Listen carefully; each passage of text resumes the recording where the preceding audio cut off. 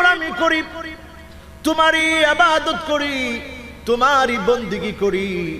আয় আল্লাহ, শুধুমাত্র কেবল মাত্র কারও কাছে সাহায্য চাই না, একমাত্র সাহায্য চাই কার কাছে? এজন্য সুরাতুল ফাতিহা এমন একটি ইস্যু, এমন একটি ইম্পর্টেন্ট পয়েন্ট এমন একখানা সূরা যেই সূরা ছাড়া নামাজ আদায় হয় না। হোক না ফজর, হোক না জোহর হোক না আসর, হোক না মাগরিব, হোক না এসব হোক না নফল নামাজ, হোক না ফরজ নামাজ, হোক না মুস্তাহাব, হোক না নফল। যে নামাজ আপনি পড়েন না কেন, যত নামাজ আছে, যত রাকাত পড়বেন, সব রাকাতে যেই সূরা পড়তে হয়, ওই সূরাটার নাম কি? আপনি যখন সূরাতুল ফাতিহার ভিতরে আপনি যখন বলবেন, ইয়াকা না'বুদু ওয়া ইয়াকা নাস্তাঈন, আয় আল্লাহ, তোমার গোলামি করি, তোমার গোলাম হতে চাই।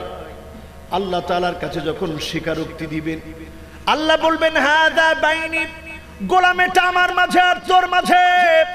আমার জমিনে থেকে আমার গোলামি যদি করতে তুমি চাও আমার সাহায্য যদি চাও, বিপদে, মুসিবতে আমি আল্লাহ তোমার জন্য যথেষ্ট হয়ে যাব। জোরে বলি, আল্লাহু আকবার। এই জন্য সহি সনাদের হাদিস, হাদা বাইনি ওয়া বাইন আব্দি ওয়ালি আব্দি মা সাল এটা আমার মাঝে আর আমার গোলামের মাঝে, আমার গোলাম যা চাবে, তার চাওয়া পাওয়া গুলো আমি আল্লাহ পূর্ণ করে দিব। জোরে কোন সুবহানাল্লাহ। আজকে আমরা বসেছি আমাদের চাওয়া পাওয়া গুলাকে পূর্ণ করার জন্য মনের দুঃখগুলোকে আল্লাহ পাকের সাথে শেয়ার করে সেই দুঃখ থেকে উত্তরণের পথ নিয়ে আজকে আমরা বাড়ি পর্যন্ত যেতে চাই। আল্লাহ তুমি কবুল করে নিও বলে আমি। ছোট্ট একটি সোরা আপনাদের সামনে পেশ করেছি। বর্তমান প্রেক্ষাপটকে ঘিরে ইনশাআল্লাহ সূরাতুল আসর আল্লাহ তাআলা সময়কে নিয়ে যে সূরাটি নাজিল করলেন, সেই সূরাকে ঘিরে আপনাদেরকে নিয়ে কিছু কথা বলব, বলি ইনশা কারা কারা পঞ্চাশ পার্সেন্ট শুনে বাড়ি চলে যাবেন, হাত তুলে দেখান। আমি মনে করেছিলাম, আমি বোধ হয় লম্বা সফর করে আসার কারণে এলোমেলো হয়ে যেতে পারে। এখন দেখি যারা বসা আছেন, তাদেরও এলোমেলো হওয়া সম্ভব, ঠিক না, বেঠিক? এবার কারা কারা সত্তর পার্সেন্ট সরে যাবেন, হাত তুলে দেখা মাত্র তিনজন হাত তুলছে, সত্তর পার্সেন্ট শুনে ওনারা চলে যাবেন। আপনাদের ব্যস্ততা কি খুব বেশি? এবার কারা কারা একশো পার্সেন্ট শুনে যাবেন, একটু হাত দেখা হাত কি আমার মতো উঠেছেন না বড় করে উঠেছেন? বড় করে তো? যিনি দেখতেছেন তিনি কে? জোরে আল্লাহকে একটা ডাক দেন, বলেন তো আল্লাহ। আরও জোরে বলেন তো আল্লাহ। আরও জোরে বলেন, আল্লাহ এবার হাতগুলো নামান। আপনারা আওয়াজ বুঝতেছেন তো কেমন আওয়াজ? এটা টেস্ট করার দরকার আছে। আলহামদুলিল্লাহ, যে আওয়াজটুকুন আল্লাহ দিয়েছে, যে হাতগুলো আপনারা উঠালেন এই হাতগুলোকে আল্লাহ পাক দিনের জন্য কবুল করুক বলে আমি শুধু আজকে নয়, দিন ইসলামের জন্য যতটা সময়ে, যতটা পক্ষে, যতটা মুহূর্তে কাজে লাগবে, এ হাতের মানুষগুলোকে আল্লাহ কবুল করে নিও বলে আমি রাজি আছেন না ইনশাল্লাহ আল্লাহ তুমি কবুল মঞ্জুর করো, বলি আমি সুরাটার নাম কি? আরও জোরে কোন কি নাম? সুরাটার নাম সুরাতুল আস। আশ্রণ শব্দের অর্থ সময়। আশ্রণ শব্দের অর্থ কাল। আশ্রণ শব্দের অর্থ যুগ। আশ্রণ শব্দের অর্থ প্রেক্ষাপট। আশ্রণ শব্দের অর্থ নিংড়ানো এতগুলো অর্থবোধক একটি শব্দ।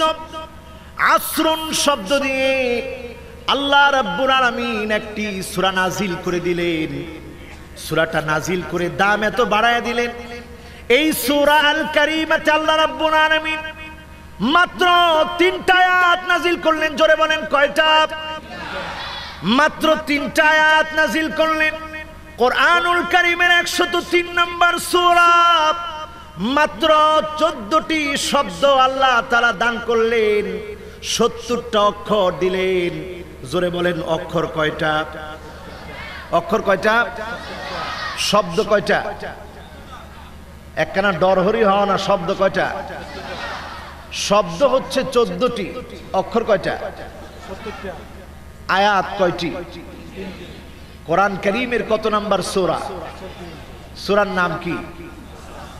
সূরাতুল আসর আল্লাহ রাব্বুল আলামিন ছোট্ট এই সূরার ভিতরে গোলামদেরকে এমন কিছু বিষয় শিখিয়ে দিলেন। গবেষণা করেন, চিন্তা করেন। সময়ের পরিবর্তনে বিরোধী দল ক্ষমতায় আসে। আবার সময়ের পরিবর্তনে এক দল আরেক দলের ঠেসাঠেসি করে, ঠিক না ঠিক? সময়ের পরিবর্তনে একজন আরেকজনকে তিরস্কার করে সময়ের পরিবর্তন আবার একজন আরেকজনের বন্ধু হয়ে যায়, ঠিক না বে ঠিক? সময় বড় গুরুত্বপূর্ণ।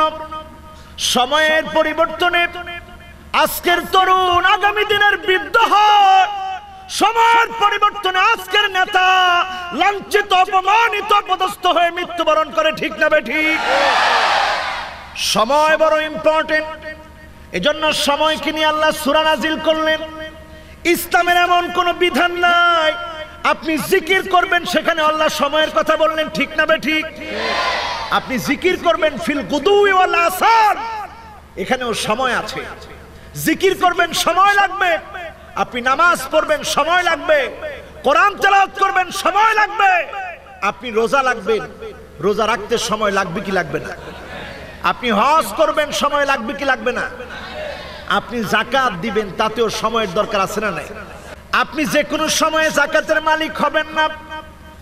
আপনাকে যখন আল্লাহ পাক জাকাত দেওয়ার মতো সম্পদ দিবে ও হাল আলাইহিল হাউল, এর উপর যখন একটা বছর পার হয়ে যাবে, আল্লাহ সুবহানাহু ওয়া তাআলা জাকাতের নেশাব পরিমাণ সম্পদের পরে, তার উপরে যখন একটা বছর ঘুরে আসবে এই সময়ের পরিবর্তনে আপনাকে জাকাত দিতে হবে, ঠিক না বে ঠিক? এজন্য আমার ভাইয়ের আল্লাহ রাব্বুল আলামিন সময়কে বোঝাতে কি ওয়াল আসর বললেন, আল্লাহ শুরুতে কসম করলেন সময়ের।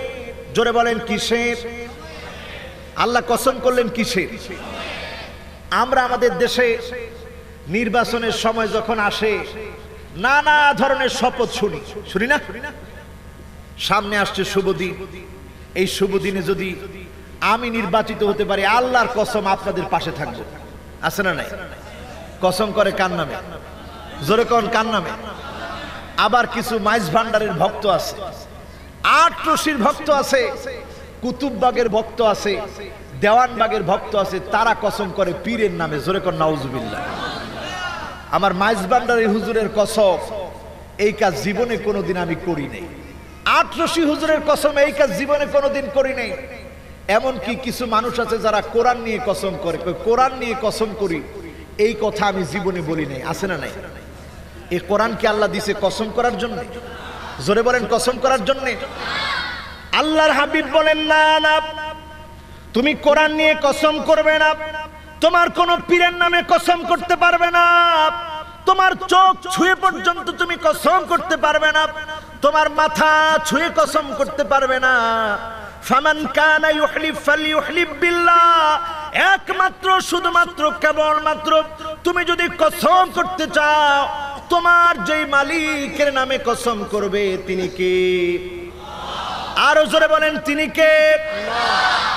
আমরা মানুষ, আল্লাহর গোলাপ আমরা কসম করব আল্লাহর নামে। কিন্তু আল্লাহ তাআলা কসম করবে কার নামে? আল্লাহর চাইতে বড় কেউ আছে? জোরে কোন, বড় কেউ আছে? ক্ষমতা আল্লাহর চাইতে বেশি কি কারও আছে? কিন্তু দেখলে কখনো কখনো মনে হয়, ইতেগো ক্ষমতা মনে আল্লাহর চাইতেও বেশি। ঠিক না বেঠিক জোরে কোন, নাউজুবিল্লাহ। আরও জোরে বলেন, নাউজুবিল্লাহ। এই ক্ষমতা নিয়ে যারাই বাড়াবাড়ি করেছে, পৃথিবীতে আল্লাহ পাক নাম নিশানাকে নিশ্চিন্ন করে দিয়েছেন, ঠিক না বেঠি সে আল্লাহ আজ আছে না নাই? এজন্য কসম কার নামে? এখন আল্লাহ কসম করবে কার নামে? প্রশ্ন আছে না? জোরে কোন প্রশ্ন আছে না? আল্লাহ কসম করবে কার নামে? আল্লাহ কসম করে এমন বিষয়ের নামে যেই বিষয়কে পৃথিবীর কোন মানুষ অস্বীকার করতে পারে না, যেই বিষয়কে মানুষ অবজ্ঞা করতে পারে না, যেই বিষয়কে মানুষ কখনো হেলায় খেলায় ফেলে দিতে পারে না, এমন সব বিষয় নিয়ে যিনি কসম করেছেন তিনি কে? কোরআন কারিম যখন আপনি পড়বেন, আল্লাহ কসম করেছে ওয়াত্তিন ওয়াজ্জাইতুন ওয়াতুর সিনিন, ওয়াহাদাল বালাদিল আমিন। আল্লাহ কসম করেছে, নুন ওয়াল কলামি ওয়ামা ইয়াসতুরুন। আল্লাহ কসম করেছে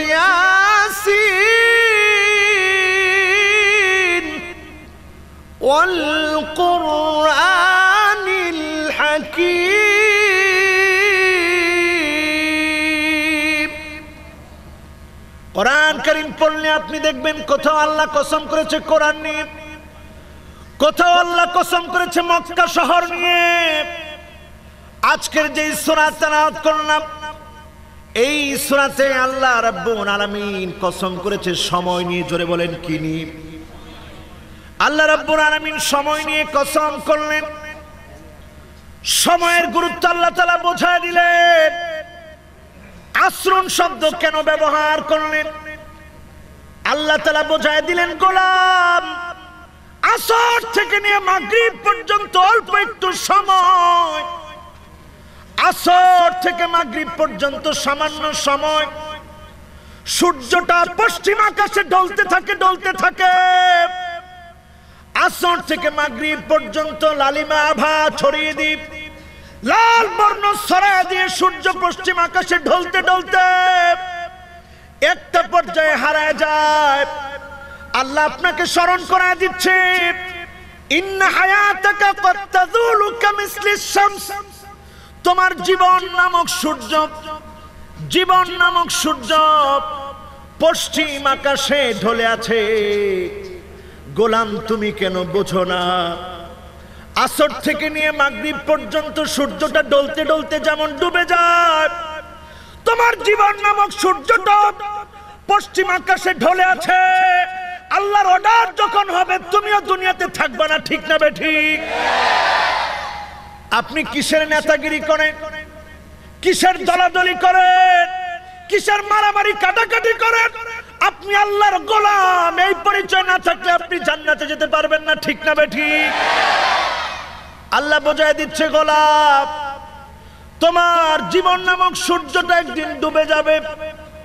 তুমি কবরের কবর কবরবাসী হয়ে যাবে।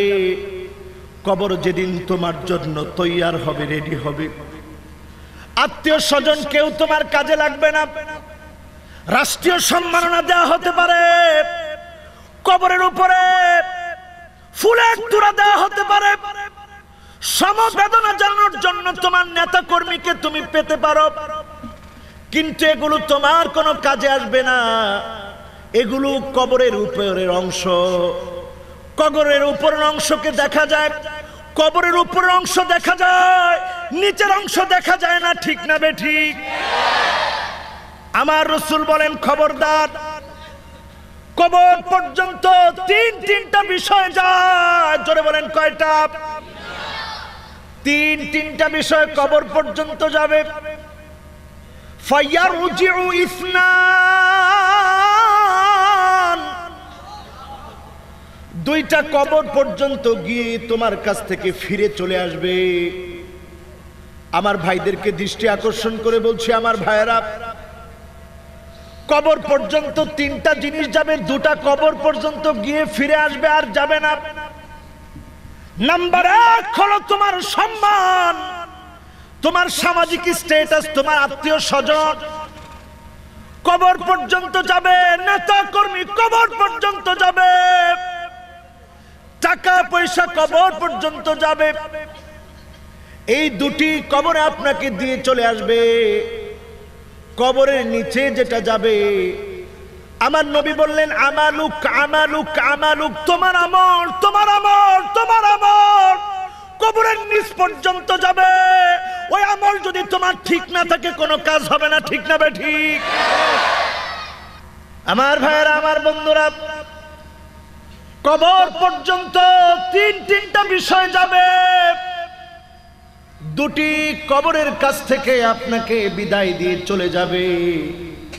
একটা কবরের ভিতর পর্যন্ত যাবে, সেটার নাম কি? জোরে কোন, কি নাম? আমলটা কবরের ভিতরে পর্যন্ত যাবে। আমি বাংলাদেশে যখনই দেখি, আমার কাছে মনে হয়, এক মুহূর্তে একজন মানুষ মোমেন আবার একটু পরে এই মানুষটা মোনাফেক আছে না নাই? এই মাত্র মানুষটা মোমেন, একটু পরে মুশ্রেক আছে না নাই? এই মুহূর্তে মোমেন, একটু পরে মানুষটা কাফের আছে না নাই? জোরে কোন, আছে না নাই? তাহলে তিন ক্যাটাগরির মানুষ। তিন ক্যাটাগরির একটা হচ্ছে এই মোমেন, একটু পরে মোনাফেক।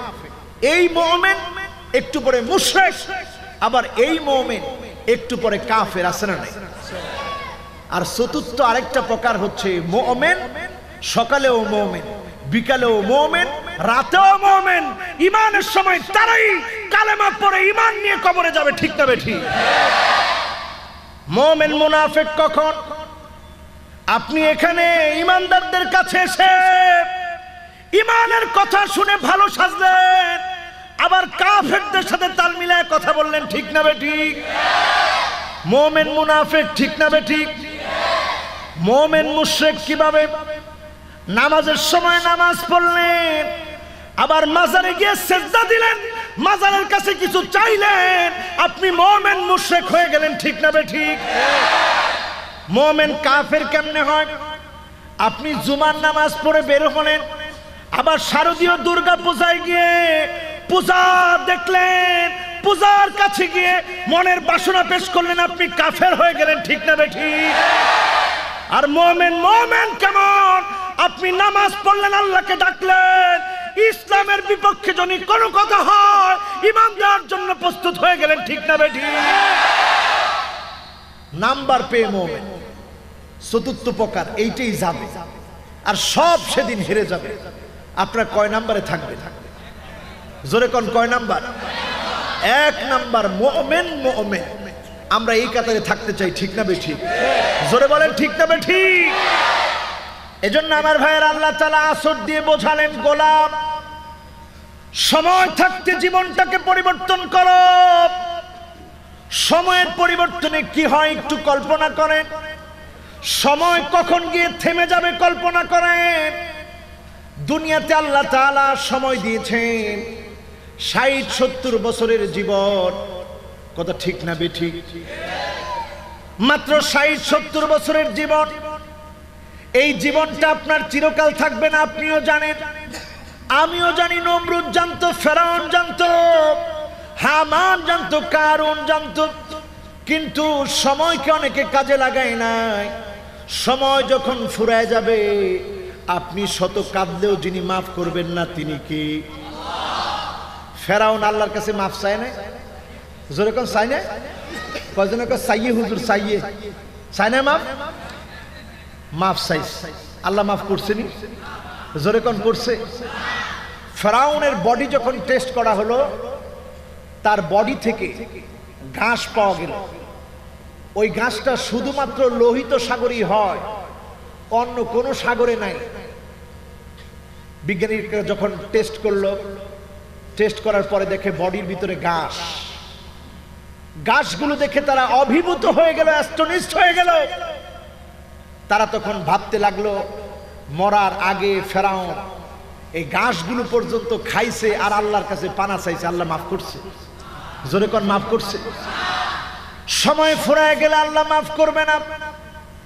মৃত্যু যখন আপনার নাকে ডগায় চলে আসবে মালাকুল মৌ যখন চলে আসবে, শত কাঁদলেও ক্ষমা চাইলেও আল্লাহ মাফ করবে না, ঠিক না বে ঠিক? এজন্য মাফ পাওয়ার সময় হচ্ছে এখন, জোরে বলেন, কখন? কিন্তু আমাদের দেশে আমরা কি করি? যখনই কারও মৃত্যু নাকের ডগা পর্যন্ত চলে আসছে, আপনাদের চট্টগ্রামের বাসায় ঈদের গ্যার গ্যারানি ছুটছে। ঈদের কি ছুটছে?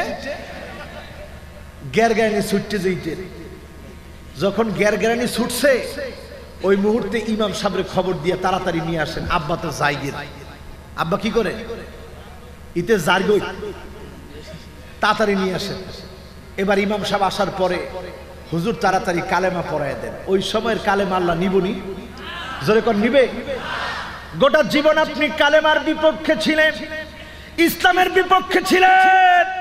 মৃত্যুর গ্যারগানি যখন চলে এসেছে, আপনি যদি কালেমা পড়েন, লাভ হবে না, ঠিক না ঠিক। কালেমা পড়তে হবে কখন? জোরে কোন, কখন? এখন এখন, কখন? তাওবা করতে হবে কখন? মাফ চাইতে হবে কখন? এজন্য আল্লাহ আশ্রম শব্দ ব্যবহার করল। সময় নাই সময় নাই। আপনি একটু কল্পনা করেন, কত শিশু মায়ের পেটে মারা যায়? আসরা নাই? তার মানে এই শিশুটি এক বছর পর্যন্ত হায়াত পেল না। মাতৃগর্ভেই তার হায়াত শেষ হয়ে গেল। আবার কতজন মায়ের গর্ভ থেকে দুনিয়ায় যখন চলে আসবে, সেই মুহূর্তে মায়ের গর্ভে যখন চলে আসবে, সেই মুহূর্তে দুনিয়াতে আসার সময় ইন্তেকাল করে।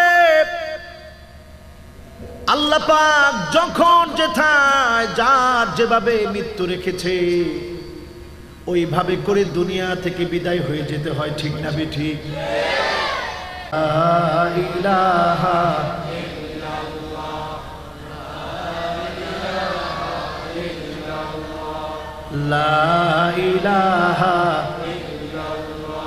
আরবেতে জন্ম নিলেন মা।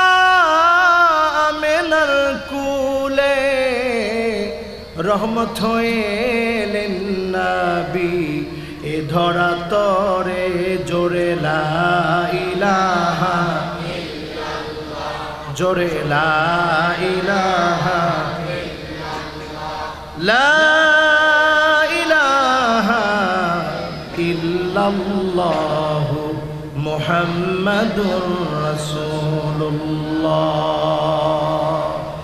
সাল্লাল্লাহু আলাইহি সাল্লাম। আমরা এখন একটা জিকির করে নিলাম। এই জিকিরের দাম না নাই? আল্লাহর হাবিব বলেন তোমরা তোমাদের ইমানটাকে নতুন করো, নবায়ন করো রিপেয়ার করো, তাজদিদ করো। সাহাবাই কারাম প্রশ্ন করলেন, ইয়া রাসূলুল্লাহ ইমানটাকে নতুন করব কীভাবে? রিপেয়ারিং করব কীভাবে? তাজদিদ করব কীভাবে? আল্লাহ নবী বললেন বেশি বেশি পড়ো, লা ইলাহা ইল্লাল্লাহ, লা ইলাহা ইল্লাল্লাহ, লা ইলাহা ইল্লাল্লাহু মুহাম্মাদুর রাসূলুল্লাহ। সাল্লাল্লাহু আলাইহি সাল্লাম। আমরা ইমানটাকে একটু নবায়ন করে নিলাম। সময়ের গুরুত্ব আছে না নাই? আজকে আপনি মাথার উপরে যে আকাশ দেখেন, আকাশ আছে না? জমিন আছে না? সমুদ্র আছে না নাই? যে আকাশ আপনি মাথার উপরে দেখেন, কোরআন করিম সাক্ষী আল্লাহ তালা বলেন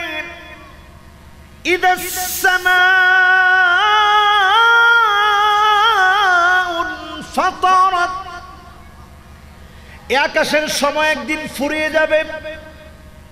মানুষের যেভাবে মৃত্যু হয়, সময় একদিন আকাশের ফুরায় যাবে।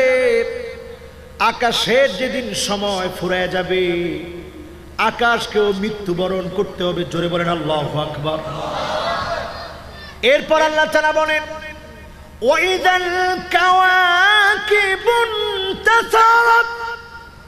যেই তারকা পুঞ্জিগুলো তুমি দেখো এই তারকা পুঞ্জিগুলোর পর্যন্ত মৃত্যু হবে, জোরে বলেন আল্লাহ আকবার। বিশ্বাস করেন আমার মুসলমান ভাইয়েরা, এই বছর ওমানে গেলাম, আমার নিজের চোখে দেখে আসলাম, যেই তারকাটা সূর্য থেকে আলো নেয় তারার নিজস্ব কোনো আলো নাই, জোরে কোন কি নাই?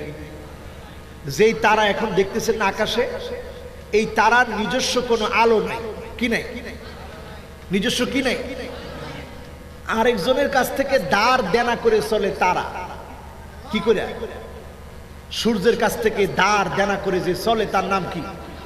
জোরে কম তার নাম কি? এবার আমার নিজের চোখে দেখে এসেছি ওমানে।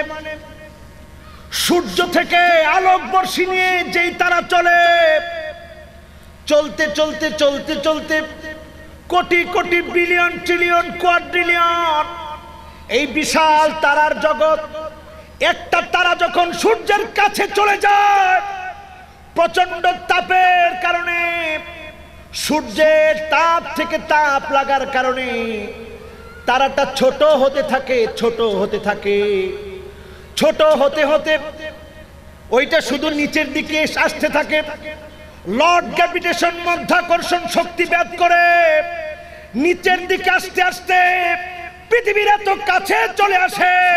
পৃথিবী তাকে টানতে থাকে টানতে থাকে। একটা পর্যায়ে পর্যায়ে ওই তারাটা তারা থাকে না। উল্কি আকারে পৃথিবীর ভিতরে পড়ে যায়। জোরে বলেন, আল্লাহু আকবার। এইবার ওমানে গিয়ে দেখলাম, উল্কি পড়ে গেছে। বিরাট পুকুরের মতো হয়ে গেছে। একটা উল্কি পড়ে যাওয়ার পরে উল্কি বিক্ষিপ্ত হওয়ার কারণে বিশাল পুকুরের মতো হয়ে গেল। আর যেদিন তারাগুলো ছিটে ছিটে পড়বে কেমতের পলঙ্কারী সময় আসবে। পৃথিবীর বয়স যখন শেষ হয়ে যাবে, কেউ কারও কোনো কাজে আসবে না, ঠিক না ঠিক? এই সময়টা চলে আসবে, এই সময়টা চলে আসবে। তারাগুলো পর্যন্ত মৃত্যুবরণ করবে, আকাশের মৃত্যু হবে। এই পৃথিবীতে যদি একজন বেঁচে থাকতেন, তিনি হচ্ছেন আমার নবী। জোরে বলেন, তিনি কে? কি নাম? জোরে বলেন, কি নাম? আমার নবী মোহাম্মদ সাল্লাল্লাহু আলাইহি ওয়াসাল্লাম, তিনি যেহেতু দুনিয়া থেকে বিদায় নিলেন, এই পৃথিবীতে কেউ বেঁচে থাকবে না, কেউ আমরা চিরকাল থাকব না, আমরা আমাদের মালিকের কাছে চলে যাব। আমার নবীর যখন দুনিয়ার সময়টা শেষ হয়ে যাচ্ছে, আর মাত্র দশ দিন বাকি, জোরে বলেন কয়দিন? ওহুদে যে সমস্ত সাহাবি আল্লাহর দিনের জন্য রক্ত দিয়ে শহীদ হয়ে গেলেন। ওই সাহাবিদের ওহুদ প্রান্তে দাফন করা হলো। এন্তেকালের নবীজির দশ দিন বাকি। আল্লাহ নবী অহুদ প্রান্তে চলে গেলেন। দূর থেকে দাঁড়িয়ে চোখের পানিগুলা ছেড়ে দিলেন। আবার নবী দুনিয়া থেকে চলে যাবেন দশ দিন বাকি। অহুদ প্রান্তের শহীদ সাহাবিদেরকে কবরে জেনাবি সাইয়ে দিলেন, সেই নবী পাশ থেকে দাঁড়িয়ে পড়তেছেন। আসসালামু আলাইকুম দারা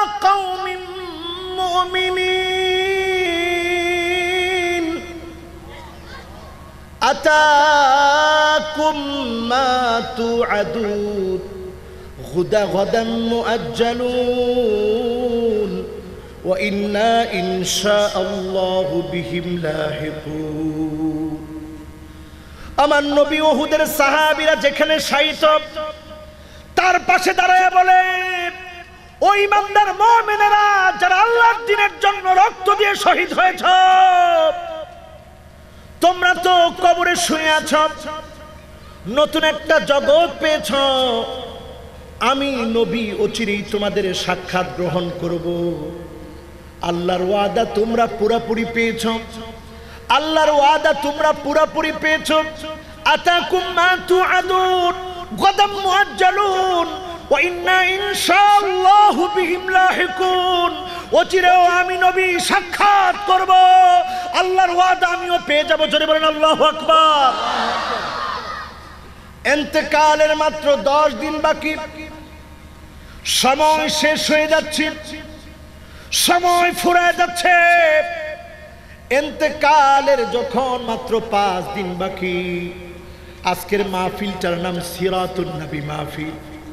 আমার নবীর জীবনীটা কত কঠিন থেকে কঠিন একটু চিন্তা করেন। এন্তেকালের মাত্র পাঁচ দিন বাকি।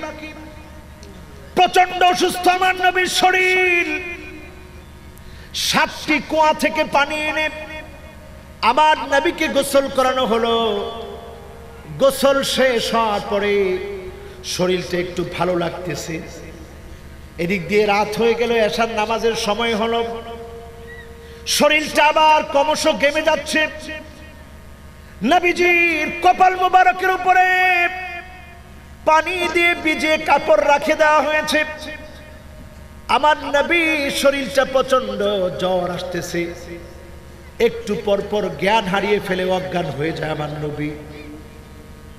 যখনই জ্ঞান ফিরে, সাহাবিদেরকে লক্ষ্য করে আমার নবী বলেন, হাল সাল্লাইতুম তোমরা কি নামাজ পড়েছো নামাজ পড়েছো নামাজ পড়েছো? জোরে বলেন, আল্লাহ আকবর। সাহাবাই কারাম বলেন, ইয়া রাসূলুল্লাহ, নাহনু মুনতাজিরুন। আমরা এখন অপেক্ষায় আছি। আপনি নবী যখন আসবেন, আপনাকে সাথে নিয়ে নামাজ পড়ব। জোরে কোন সুবহানাল্লাহ। আবার নবী জ্ঞান হারিয়ে ফেলে ফেলে আবার যখন সুস্থ হন, একই কথা বলেন। এইভাবে কয়েকবার চলার পরে আমার নবী বলেন সাহাবিরা রে মুরু আবা বাকর ফালিউসাল্লি, যাও যাও, আবু বকরকে গিয়ে বলো, আবু বকর যেন আমার জায়গায় দাঁড়িয়ে নামাজ পড়ায় দেয়। জোরে আল্লাহু আকবার। ইসলামী নেতৃত্ব কাকে বলে? নবীজি দুনিয়া থেকে চলে যাবে। আবু বকরকে আমার নবীর জায়গায় আল্লাহ নবী দাঁড়া করায় গেলেন, জোরে বলেন আকবার! নেতৃত্বের শিক্ষা আমার নবী দিচ্ছেন। আল্লাহ নবীর কথা যখন আবু বকরকে বলা হলো, আবু বকর কান্নায় ভেঙে পড়লেন। নবীজির জায়গায় দাঁড়ায়, আমি আবু বকর কি করে নামাজ পড়াবো? এখানে আমার নবী দাঁড়ায় নামাজ পড়াতেন। আবু বকর বললেন, না না, তা হয় না। আল্লাহ নবীর জায়গায় ওমর দ্বারা নামাজ পড়ায় দেখ, জোরে বলেন, আল্লাহু আকবার। ভিতর থেকে আমার নবী বললেন, না না, আবু বকর, আমার আল্লাহ চার আমি রসুলের পরে আবু বকর যেন আমার জায়গায় দাঁড়ায় নামাজ পড়ায় দেয়, জোরে কোন, সুবহানাল্লাহ। আবু বকর নামাজ পড়ায় দিলেন। পরের দিন পার হলো এতেকালের আর মাত্র তিন দিন বাকি সময় শেষ হয়ে যাচ্ছে। আল্লাহর নবী জোরের নামাজের সময় আয়েশা সিদ্দিকা রাদিয়াল্লাহু তাআলা আনহাকে বললেন, আয়েশা, দুজন সাহাবীকে খবর দাও। দুজন সাহাবীকে খবর দেওয়া হলো। একজনের নাম হলো হযরত আব্বাস রদি আল্লাহ আনহু, আরেকজনের নাম হযরত আলী রদি আল্লাহ আনহু। দুজনের কাঁধে আমার নবী ভর দিলেন। ভর দিয়ে যখন নামাজে যাচ্ছে, হযরত আয়েশা বলেন, পিছনের দিক থেকে আমি তাকায় আছি। আমি দেখলাম ইয়াখুত্তুরি জেলাহুল্লাহ আল্লাহ নবীর পা গুলা জমিনে গসতেছে গোসে গোসে আমার নবী নামাজে গেলেন, জোরে বলেন, আল্লাহু আকবার। নামাজ শেষ করে আমার নবী একটি খুতবা প্রদান করলেন। প্রত্যেক শাসকদের দায়িত্বশীলদের, এই খুতবা থেকে শিক্ষা আছে ঠিক না ঠিক কি খুতবা দিলেন আমার নবী? দুনিয়া থেকে চলে যাবেন, নিজে একাকি দাঁড়াতে পারে না। আমার নবী খুতবা দিলেন। মান কিবালি কার যদি এক তিল পরিমাণ করে কবলাল চুল চেরা হিসাব হবে, আল্লাহর আদালতে দাঁড়াতে হবে, আসামির কাঠ কাঠগড়ায় দাঁড়াতে হবে। ওই দাঁড়ানোর আগে আমার কাছ থেকে প্রতিশোধ নাও জোরে কোন আমার রসুল বলতেছে, প্রতিশোধ নাও। সাহাবিরা কান্নায় ভেঙে পড়লেন। ইয়া রসুল আল্লাহ এ কেমন কথা? জীবনে আপনি কোনোদিন আমাদেরকে ধমক দেন নাই, খারাপ ব্যবহার করেন নাই, নিজে না খেয়ে আমাদেরকে খাইয়েছেন। আপনি কি করে আমাদের উপরে জুলুম করবেন? জোরে বলেন, আল্লাহ আকবর। বারবার যখন আল্লাহ নবী কথাটা বললেন। সাবাই কারামের প্রচণ্ড মায়া আসতে লাগল। কাঁদতে কাঁদতে সাবাই কারাম বেউস হয়ে যাচ্ছেন। আল্লাহ নবী মনে হয় দুনিয়াতে থাকবে না। এন্তেকালের মাত্র দুদিন বাকি। আবার আমার নবী আসলেন। এসে একই কথা আবার বললেন। মান কানাত মিন কিবালি মাযলামা কার উপরে যদি এক তিল পরিমাণ জুলুম করে থাকি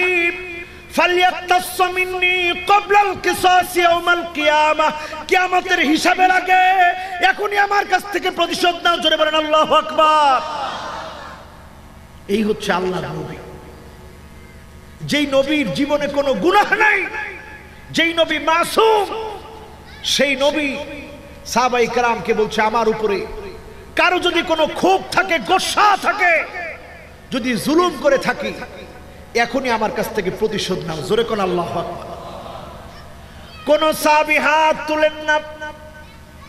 একজন সাহাবি হঠাৎ করে হাত তুললেন। সব সাহাবিরা নিশ্চুপ, নিস্তব্ধ।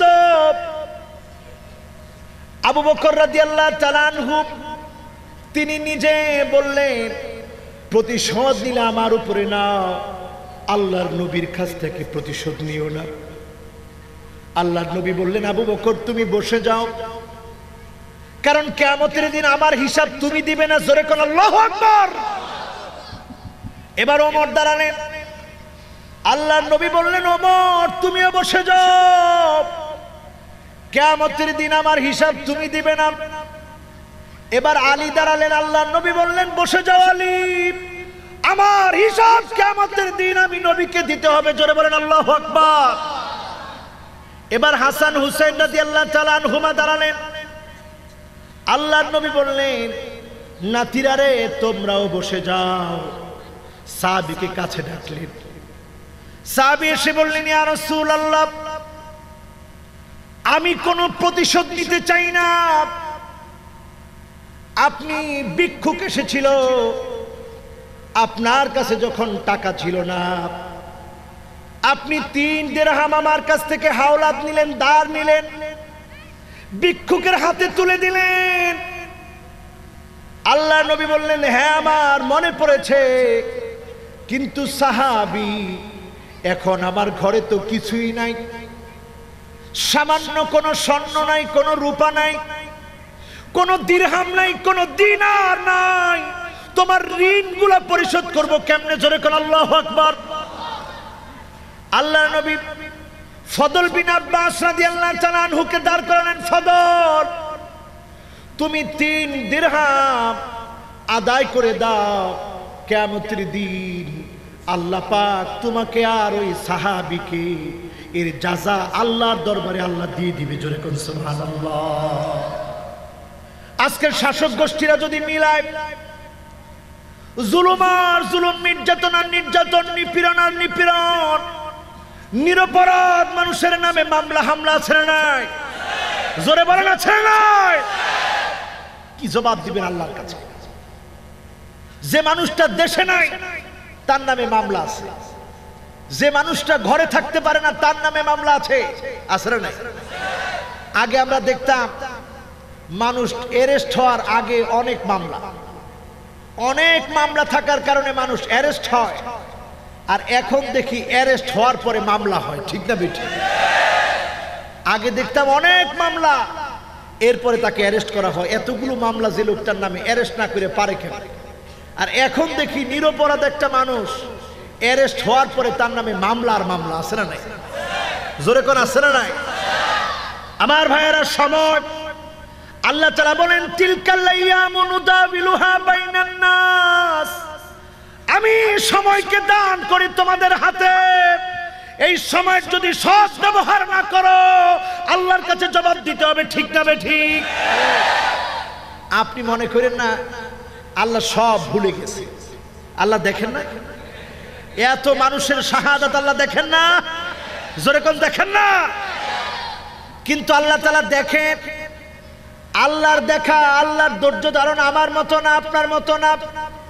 যদি আমার আপনার মতো হতো গলার টিপে আল্লাহ তাদেরকে শেষ করে দিতেন, ঠিক না বে ঠিক? আল্লাহর ধৈর্যটা কেমন?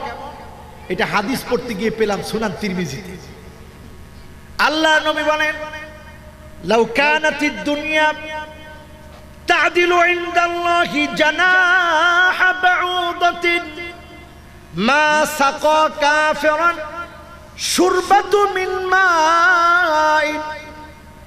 আল্লাহর কাছে যদি দুনিয়ার মূল্য, একটা মাসি জানা পরিমাণ, সামান্য মাসি জানা পরিমাণ থাকতো, কোন একটা কাফেরকে আল্লাহ তাআলা এক ঢোক পানি খেতে দিতেন না, জোরে বলেন আল্লাহু আকবার।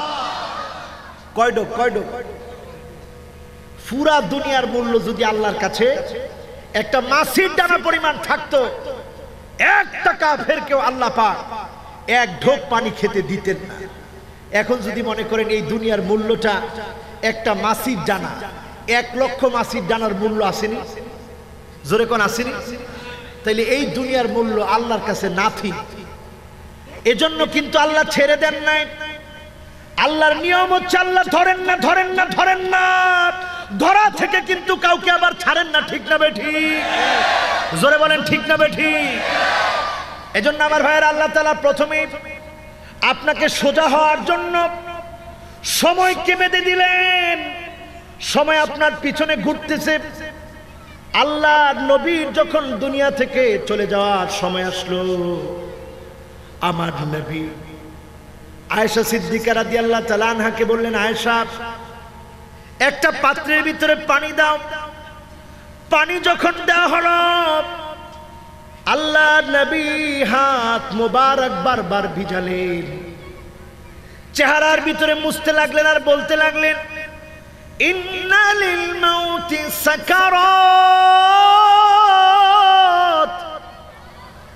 মৃত্যুর ভিতরে আছে যন্ত্রণা। মৃত্যুর ভিতরে আছে কষ্ট।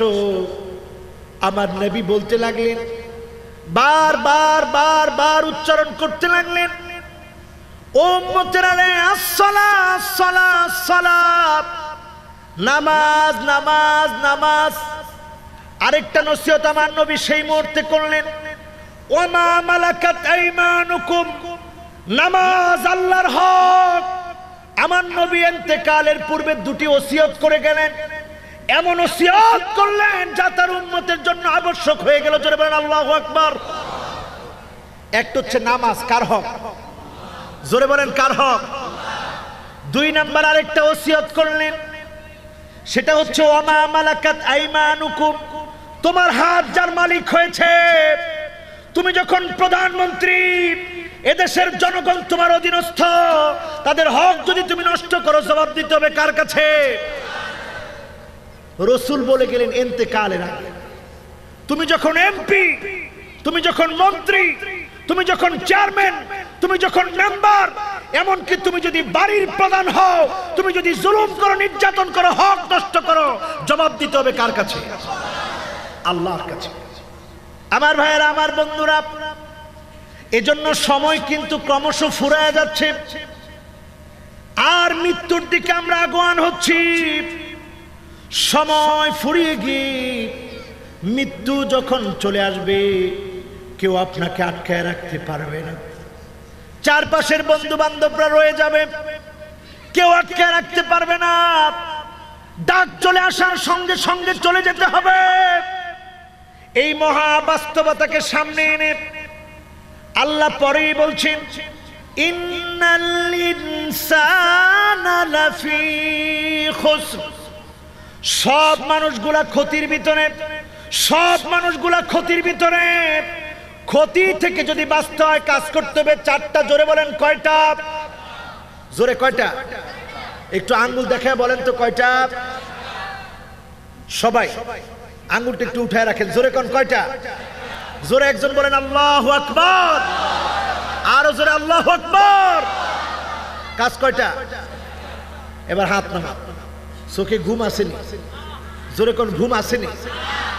কাজ কয়টা? এক নাম্বার কাজ হচ্ছে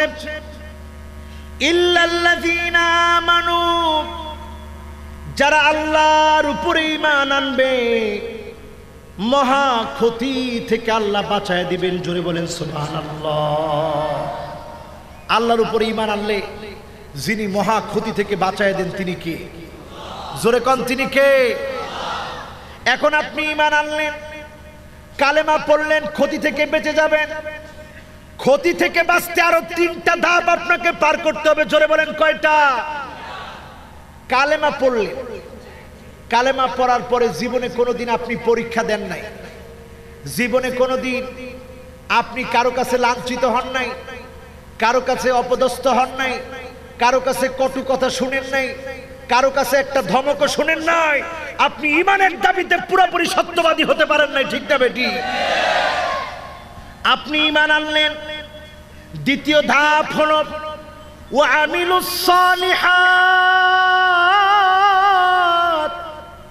ইমান আনার পরে আমলে সালেহ করতে হবে, নেক কাজ করতে হবে, কার কথা? জোরে বলেন, কার কথা?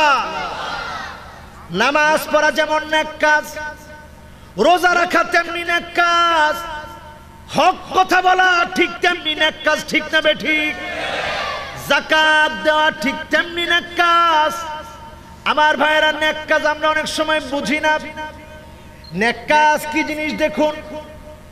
আমার নবী বলেন, ইন্না মিন আবাররিল বির আইয়ুদখিলাস সুরুর ফি কলবি আহাদিকুম। তোমরা যদি একজন ভাইয়ের অন্তরের ভিতরে একটুখানি আনন্দ ঢুকিয়ে দিতে পারো। তোমার ভাইয়ের মুখের ভিতরে যদি হাসি ফুটাতে পারো, আল্লাহর হাবিব বলেন, ইন্না মিন আবাররিল এত বড় সবের কাজ তুমি করলা, তুমি কল্পনাও করতে পারবে না। জোরে বলেন, আল্লাহু আকবার। আপনার বাড়ি পর্যন্ত রিক্সা নিলে যাওয়ার সময় মাত্র দশটি টাকা তার হাতে বাড়িয়ে দিলেন। লোকটা যাওয়ার সময়ে একটা হাসি দিয়ে গেল, মনটা তার আনন্দ লাগল। এতটুকুন আনন্দের কারণে, তার মুখের ভিতরে হাসি ফোটার কারণে এমন আমল হলো আপনি কল্পনাও করতে পারেন না যেরকম সুবাহান আল্লাহ আমার রসুল বলেন, আবার রিল বের। সবচেয়ে ন্যাক কাজ আপনি করলেন। সুবহানাল্লাহ বলবেন না? আমার ভাইরা এইভাবে করে অনেক ন্যাক কাজ আছে। আপনি আপনার একটা ভাইকে দেখে মুসকে হাসি দিলেন। যিনি আপনার আমল নামায় সাব লিখে দিলেন, তিনি কে? জোরে কন, তিনি কে? এইভাবে করে আমলে সালে না বুঝার কারণে আমরা শিরকের ভিতরে নিমজ্জিত হয় বাংলাদেশের মানুষ বিভিন্নভাবে শিরিক করে। এর মধ্যে নাম্বার এক নাম্বার এক হচ্ছে শিরবিল ইবাদত। এবাদতের মধ্যে শির। কিসের মধ্যে শির? জোরে হয় না কিসের মধ্যে? এবাদতের মধ্যে শির। কেমনে করে? আপনি এবাদত করার দরকার ছিল কার জন্য? জোরে কোন কার জন্য? সেজদা দেওয়া দরকার ছিল কাকে? কিন্তু আপনি যখন একটা সেজদা আল্লাহকে না দিই কবরের কাছে দিবেন হলো আর এই শিরকের কারণে কিয়ামতের দিন আল্লাহর কাছে আপনাকে দাঁড়াতে হবে, ঠিক না ঠিক? দুই নাম্বার, মানুষ শির করে জিকিরের মধ্যে, জোরে বলেন, কিসের মধ্যে? হুজুর, জিকিরের মধ্যে শির কিন্তু আর ন বুঝলাম জিকিরের মধ্যে শির কি? আল্লাহর নামে জিকির করলে জিকির কার নামে হয়? কিন্তু আপনি যদি জিকির করেন, দয়াল মুর্শেদ আছে না নাই? দয়াল মুর্শেদ? আবার আরেক জিকির দেখলাম সেই দিন। এটা জিকির হিসেবে কয় না কি হিসেবে কয় আল্লাহ ভালো জানে। তারা কইতেছে, গলার মালা গাতি রাখি পেতন বাবাল্লাই কাল্লাই কাল্লাই গলার মালা গাতি রাখি গলার মালা গাতি রাখি ফেতন বাবাল্লাই টুন টুনা টুন টুন টুন টুন টুনা টুন টু আছে না নাই? আবার বিজ্ঞানে নাচের দিয়ে বিজ্ঞানে তালে তালে? এটা জিকির। জোরে কর নাউজুবি এটা জিক্র বিশ্বের এই জিকিরের মাধ্যমে আল্লাহকে ডাকা হয় না। আপনি যখনই কোনো ব্যক্তির বন্দনা করবেন, আপনি শিরিক করবেন, ওইটা জিকির হতে পারে না, ঠিক না ঠিক মারাত্মক অপরাধ। এবার আসেন তিন নম্বরে শিরিক কীভাবে করি? আর শিরকুপি দোয়া দোয়ার মাধ্যমে শিরিক করি।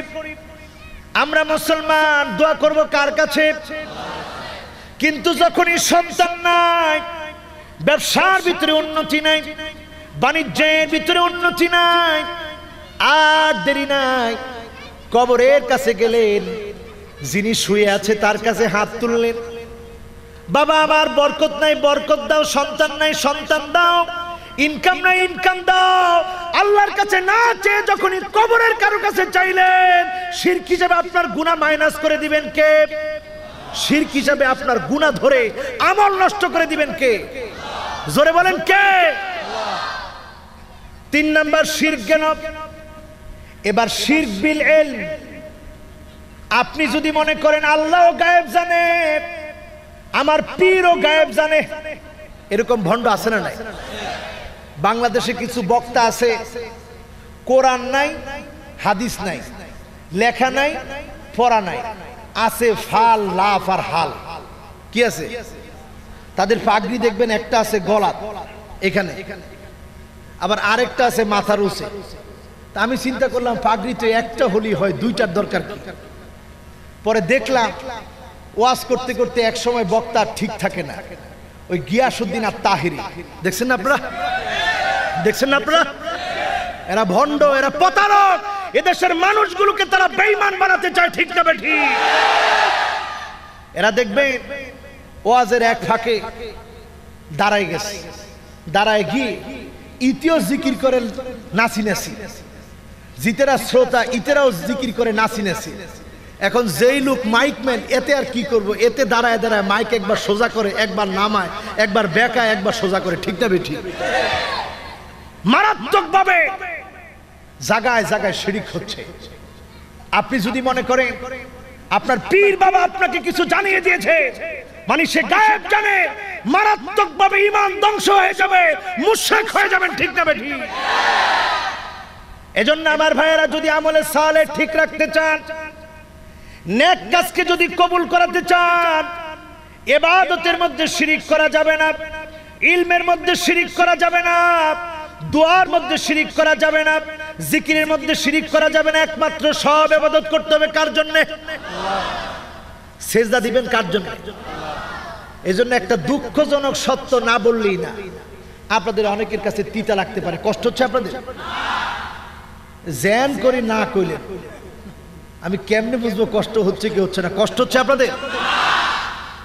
আপনারা একটা পরিসংখ্যান চালায় দেখবেন যেই অঞ্চলে যেই জায়গার মধ্যে মাজার আছে, ওই মাজারের চারপাশে দেখবেন লোকেরা নামাজ পড়ে না, ঠিক না বেঠি?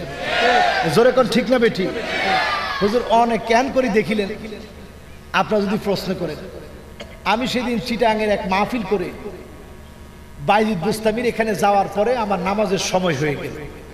তো চিন্তা করলাম, নামাজের সময় যেহেতু হয়েছে, নামাজটা পড়েনি আমি ওইখানে গিয়ে মাগরিবের নামাজ পড়ে যখন বের হলাম আমার নিজের চোখে আমি দেখলাম, নামাজের মুসল্লি যতজন, তার চাইতে বিশ গুণ বেশি লোক যারা কচ্ছপের উপরে যে ময়লা জমে আছে, ওই শ্যাওলাগুলা তাদের চেহারার মধ্যে মাখতেছে। জোরে কর নাউজুবিল্লা আরও জোরে কর নাউজুবিল্লা মনে মনে চিন্তা করলাম, আল্লাহ, এই কচ্ছপ মনে মনে কয়, আল্লাহ, তুমি আমার কচ্ছপ বানাইছিলা কে? ঠিক না বেঠি? এরকম শির কাছে না নাই? কচ্ছপকে আমার কোনো উপকার করতে পারে? জোরে কোন পারে? অনেকে আংটি পরে, আমিও পড়ি আংটি কি কোনো উপকার করতে পারে? সবাই তো না বললেন না, হুজুরে পড়ছে। না কই কেন আংটি কোনো উপকার করতে পারে? ছোটকালে আমরা দেখতাম আংটি বিক্রি করে, অষ্টধাতু বাতের আংটি। একটা ধারণ করেন না, বহু আগের পুরানা, আজকে নতুন বেশি না। এরকম আছে না? এখন এক অষ্টধাতু বাতের আংটি দিয়ে যদি সব ব্যথা ভালো হয়ে যায় এত অর্থোপেডিক্সের দরকার ছিল বাংলাদেশে। হাড়গুড় ভাঙা মস্কা এদের কত রকমের ফিজিওথেরাপি বাংলাদেশে আবিষ্কার হয়েছে। গোটা ওয়ার্ল্ডে আবিষ্কার হয়েছে। এক আংটি দিয়ে যদি অষ্টধাতু বাতের আংটি একটা ধারণ করেন না, বহু আগের পুরানো, আজকে নতুন বেশি না। এইগুলো দিয়ে যদি কাজ হতো, তাইলে কি আর ওই ডাক্তারের কাছে যাওয়া লাগতো? জোরে কোন লাগতো? এই সব ভণ্ডামি, ঠিক না বেঠি? পাথরের কোনো পাওয়ার নাই পাওয়ার আছে। জোরে কোন পাওয়ার আছে? আঙ্গুল দিয়ে এখন কোনো পাওয়ার নেই। পাওয়ার আছে? জোরে কোন পাওয়ার আছে? এবার আঙ্গুলগুলো নামান। লিটন দেওয়ান চিস্তি চিনেন না আপনারা? চিনেন না? বাংলাদেশের এক ভণ্ড পাথর বিক্রি করে। আপনারা গেলে তখন বলে চাণিক্য মাণিক্যগণ বাণিজ্য, লবণ, বন ভেনুবিনা কঙ্কন, কণিকা, কল্যাণ সরিতমণি স্থানগণ পুণ্যবিনী ফণি, অনু, বিপণী, কণিকা, আপন, লাবণ্য, বাণী, চিক্কন, নিক্কন তিন কফিনি গুণ, গগন, পিনাক পণ্যবা কি কি পরে একটা ফু দিছে, আপনি মনে করছেন কিছু একটা হয়ে গেছে। ঠিক না বেঠি আসলে কি পড়ছে জানেন? চাণিক্য মাণিক্য গণ, বাণিজ্য, লবণ, মন, এগুলো সব লিখতে মূর্ধান্য লাগে দুন্তান্ন না। কি লাগে? একটা হচ্ছে দন্ত ন আর হচ্ছে মূর্ধন লবণ লিখতে দন্ত ন না মূর্ধন লাগে। এটা যখন আপনাকে সরার মতো করে দিল চাণিক্য মাণিক্য গণ, বাণিজ্য লবণ মন, বেনুবিনা কঙ্কন কণিকা, কল্যাণ সুনীতে মনি স্থানুগণ পণ্যবিনী, ফণী অনু বিপণী গণিকা, আপন লাবণ্য বাণী, চিক্কন নিক্কন তিন কফিনী বণিগুণ গগনপিনাক পণ্যবান আপনি মনে করছেন, খাইছে রে খাইছে, কি কেরামত দিছে? আমাদের খতিব সাহেব কি কি পরে, এগুলো তো আমরাও পারি। আলহামদুলিল্লাহ রব্বিল আলমিন আর রহমানুর রহিম, মালিক ওমিদ্দিন তো আমরাও পারি। কিন্তু চাণিক্য মানিক্যগণ আমাদের খতিব সাহেব পারে না, কিন্তু লিটন দেওয়ার সৃষ্টি পারে। কাজে তার কাছ থেকে নিলে মনে কাজ হইব, ঠিক না বেঠি আসলে কাজ হবে। জোরে বলেন, কাজ হবে। মারাত্মক ভাবে শের কাপড়াদের কলিজায় ঢুকায়া আমলগুলা বরবাদ করে ইমান তারা কিনে নিয়ে জান্নামি বানায় দিচ্ছে, ঠিক যাবে ঠিক? এজন্য আমার ভাইয়েরা সাবধান হতে হবে, আল্লাহ তাআলা বললেন, ইল্লাল্লাযীনা আমানু। যারা ঈমান আনবে আল্লাহর উপরে ও আমিলুস সালিহাত। তারা নেক কাজ করবে শুধুমাত্র কার জন্যে?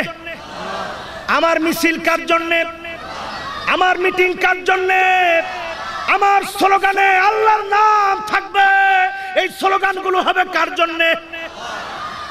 আল্লাহর নামে স্লোগান, একজন দেন তো দেখি মাঝখান থেকে আল্লাহর নামে বড় সড়ো করে।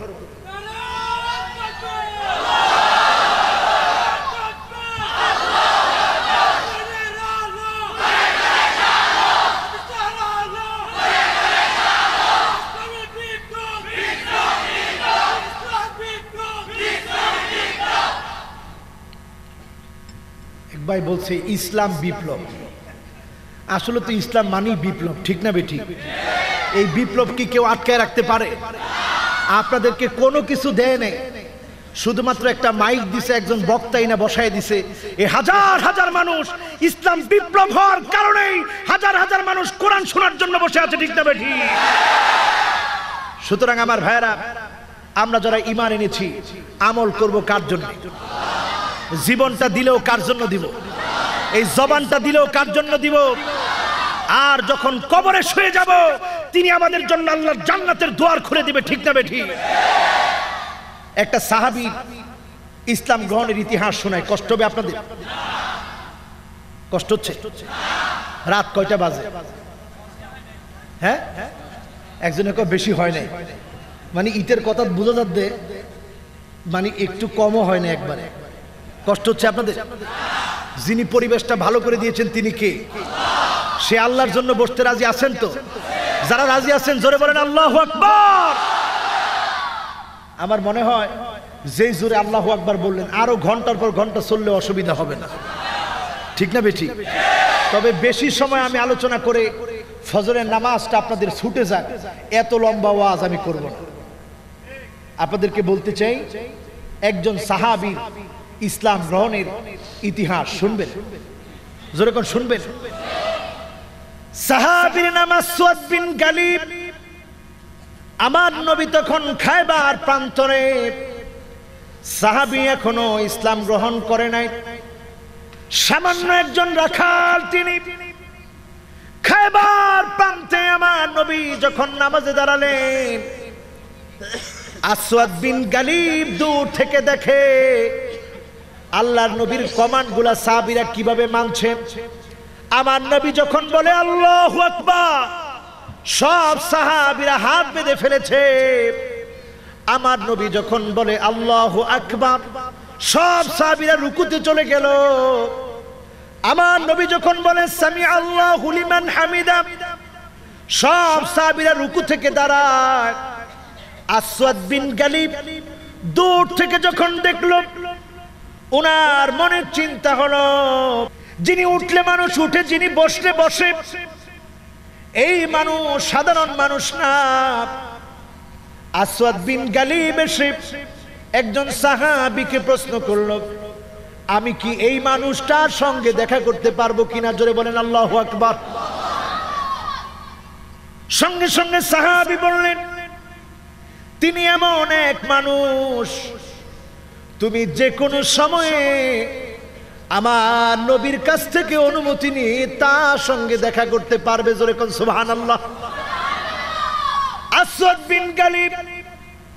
হাতের ভিতরে লাঠি, শরীরের ভিতরে ধুলা, মাথার ভিতরে ধুলা, চেহারাটা ধুলায় মলিন হয়ে আছে, মনের ভিতরে বড় ভয়। যে মানুষটার কথা এইরকম করে মানুষ শুনল এত বড় মানুষের সঙ্গে আমি রাখাল হয়ে কি করে দেখা করব? দুনিয়ার কোন মানুষ আমাকে সম্মান করে না, মূল্যায়ন করে না, দাম দেয় না। এই মানুষকে আমাকে সম্মান করবে, দাম দিবে, তা হতে পারে না। আসওয়াদ বিন গালিব যখন খায়বার প্রান্তের তাবুর সামনে চলে গেল, আমার নবী দেখি তাকে সামনের দিকে ডাকলেন, জোরে কোন, সুবহানাল্লাহ। আসওয়াদ বিন গালিব পিছনের দিকে গিয়ে বসল। আল্লাহর নবী ডাক দিয়ে সামনের দিকে নিয়ে গেলেন। আমার সামনে আসো। সাহাবী কতদূর সামনে গেল? আল্লাহর নবী বললেন, আরও কাছে আসো। সাহাবী আরও কাছে গেল। আল্লাহ নবী বললেন, আরও কাছে আসো। আসওয়াদ বিন গালিব আমার নবীর একেবারে কাছাকাছি বসে গেলেন জোরে কোন সুবহানাল্লাহ। আসওয়াদ বিন গালিবকে আমার নবী সালাম বিনিময় করে নাম জিজ্ঞাসা করলেন মাসমুকাল কারিম। আসওয়াদ বিন গালিব বললেন, ইসমি আসওয়াদ বিন গালিব আমার নাম আসওয়াদ বিন গালিব এবার আল্লাহর নবীকে বললেন ও মাসমুক আপনার নাম কি? আল্লাহ নবী বলেন, আনা মোহাম্মদ, আনা আহমদ, আনাল মাহিব আনাল হাসির আল্লাযী ইয়ামহুল্লাহু বিয়াল কুফর। আমি নবীর নাম মোহাম্মদ, আমি নবীর নাম আহমদ, আমি নবীর নাম মাহিব আল্লাহ আমাকে পৃথিবীতে পাঠিয়েছে জাহান্নাম থেকে মানুষগুলাকে কুফুরির আজাব থেকে মানুষগুলাকে মুছে দুই আল্লাহর জান্নাত পর্যন্ত নিয়ে যাওয়ার জন্য জোরে কোন সুবহানাল্লাহ। আসাদ বিন গালিব জীবনে কোনোদিন জান্নাতের কথাও শুনে নাই, জাহান্নামের কথাও শুনে নাই। বললেন, আপনি বললেন আপনি আল্লাহর রসুল, আপনি বললেন আপনার নাম মোহাম্মদ, আপনার নাম আহমদ। কিন্তু জান্নাত, জাহান্নাম কি আমি একটু বুঝতে চাই? আল্লাহ নবী বললেন, এমন জান্নাত আল্লাহ পাক তার গোলামদের জন্য রেখেছে।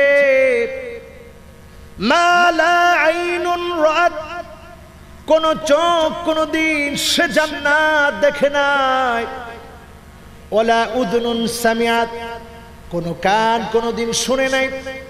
ওলা খতর আলা কলবি বাসার মানুষের অন্তর কোনদিন ওই জান্নাতের কথা কল্পনাও করতে পারে নাই। জোরে কোন আল্লাহ আকবার। সাবি খুব বেশি আশ্চর্যজনিত হয়ে গেলেন। বললেন, ইয়া রসুল আল্লাহ ওই জান্নাত যদি পেতে হয় কি করতে হবে তৎক্ষণাৎ বলবেন? এই মুহূর্তে আমি তা করব, আমি জান্নাতে যেতে চাই। জোরে কোন সোভান আল্লাহ নবী বললেন, জান্নাতে যদি যেতে হয়, তাহলে তোমার কাজ হচ্ছে تؤمنون بالله ورسوله وتجاهدون في سبيل الله ইমান আনতে হবে আল্লাহর উপরে দুই নাম্বার ইমান আনতে হবে রসুলের উপরে তিন নম্বরে আল্লাহ এবং তার রসুলের উপরে ইমান আনার পরে আল্লাহর জমিনে দিন কায়েমের জন্য প্রয়োজনে রক্ত ঢেলে দিয়ে আল্লাহর দিনের উপরে টিকে থাকতে হবে, ঠিক যাবে ঠিক? এজন্য ইসলাম নামক গাছকে টিকিয়ে রাখার জন্য বদর থেকে শুরু করে আজ পর্যন্ত মুখণ্ডে মুখণ্ডে রক্ত দিয়ে ইমানদার মর্যে মুজাহিদরা আল্লাহর জমিনের দিনকে টিকিয়ে রাখার চেষ্টা করছে, ঠিক যাবে ঠিক?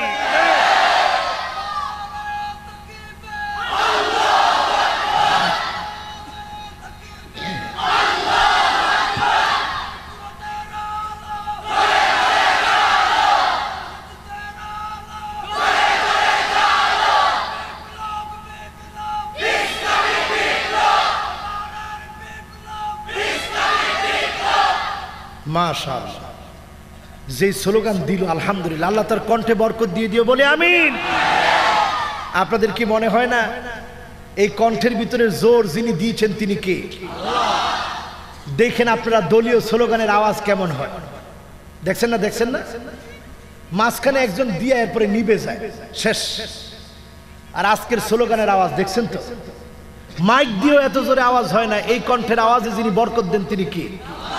আরও জোরে বলেন, তিনি কে? এজন্য ইসলাম নামক বৃক্ষকে টিকিয়ে রাখার জন্য যেখানে রক্ত, সেখানে রক্ত দিতে হবে।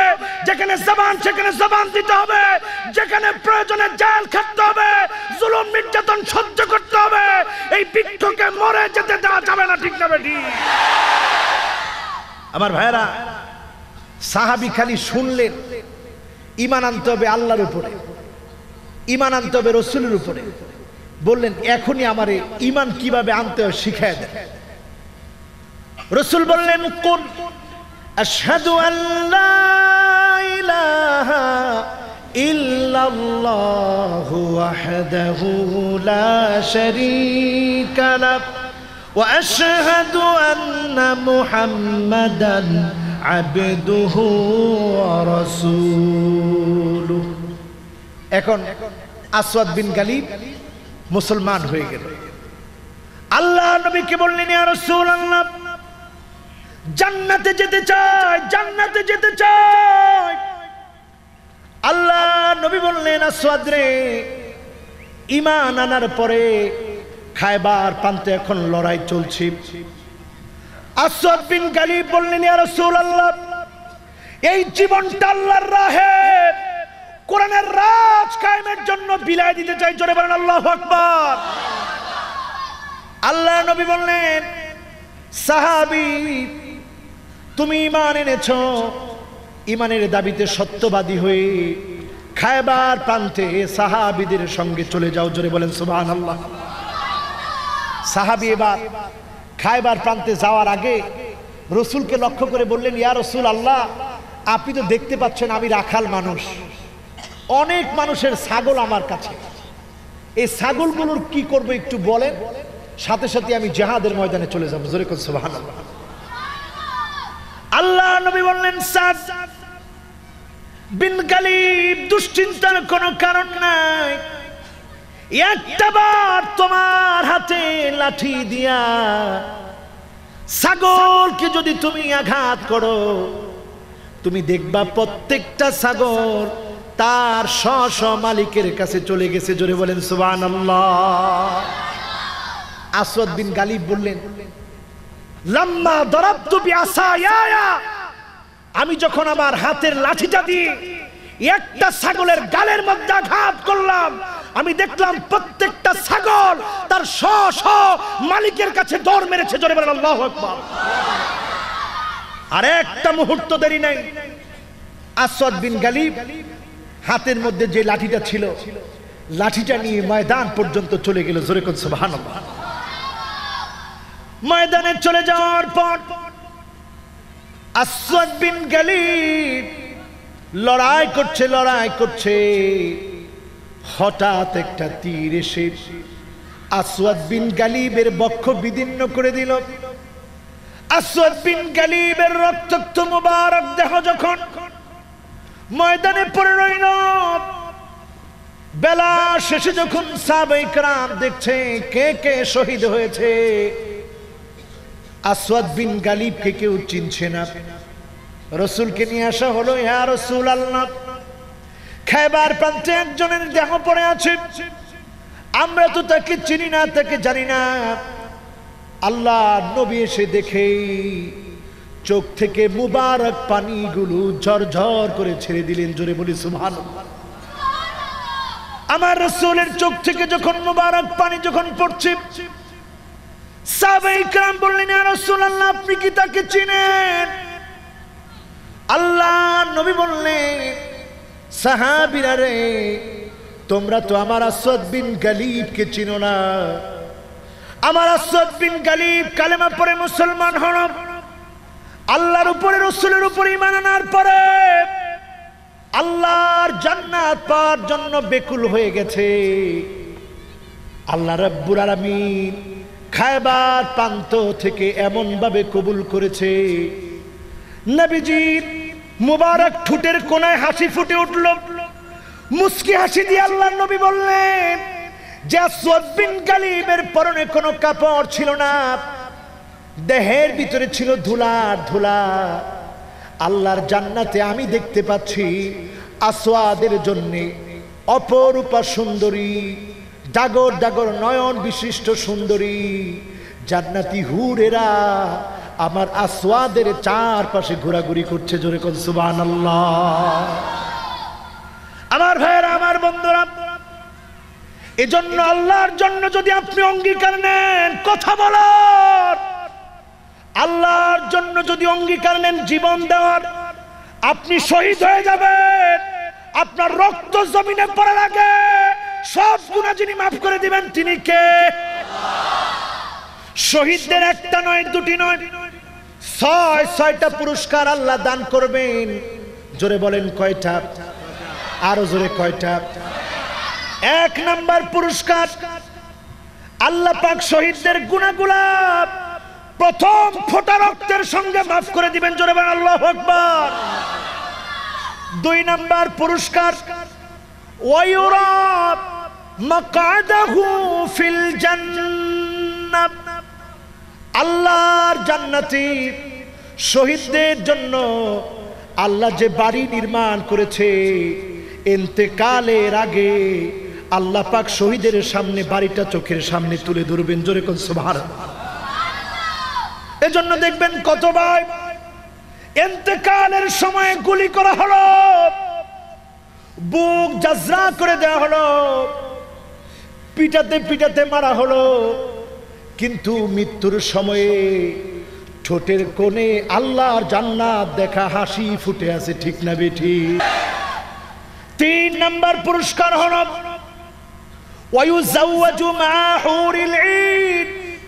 ডাগর ডাগর নয়ন বিশিষ্ট, অপরূপা সুন্দরী। জান্নাতি রমণীদের সাথে আল্লাহ পাক শহীদদের বিবাহ দিয়ে দিবেন জোরে কোন সুবহানাল্লাহ। গেল কয়টা? জোরে কোন কয়টা? বাকি আছে কয়টা? মাশাআল্লাহ, আল্লাহ কবুল মঞ্জুর করো, বলি আমি এবার আসুন চার নম্বরে।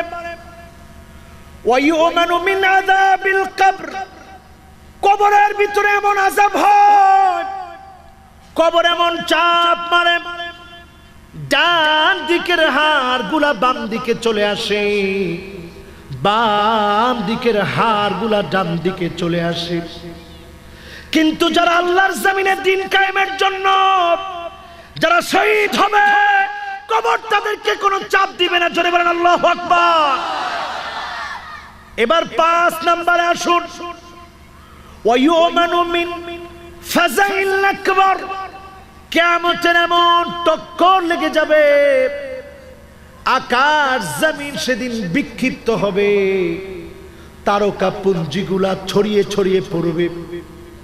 সমুদ্রগুলো সেদিন তার নিচের আগুনগুলোকে বের করে দিবে।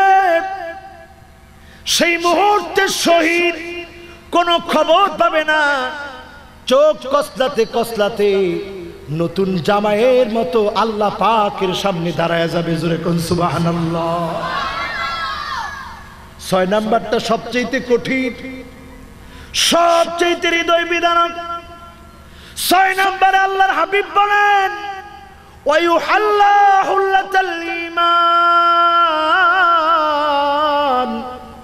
ইমানে ড্রেস পরে রক্ত মাখা ড্রেস পরে হাতটা কেটে ফেলা হয়েছিল।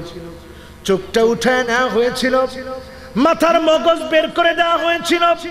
ওই অবস্থায় দাঁড়ায় যাবে, আল্লাহকে বলবে, আল্লাহ, আজকে তোমার কাছে বিচার চাচ্ছি। দুনিয়াতে কোনো বিচার হয় নাই। আমার বাবাকে সন্তান হারা বানানো হলো, আমার মাকে সন্তান হারা বানানো হলো। আমার মা আমার নাম বলে বলে পাগলের মতো হয়ে যেত। আমার ভাইটা চিৎকার করে কাঁদত, আমার বোনটা চিৎকার করে কাঁদত বন্ধু বান্ধবরা কাঁদত, পাড়া প্রতিবেশীরা কাঁদত। আল্লাহ তোমার কাছে বিচার চাই জালেমের বিচার করতে হবে, ঠিক না বে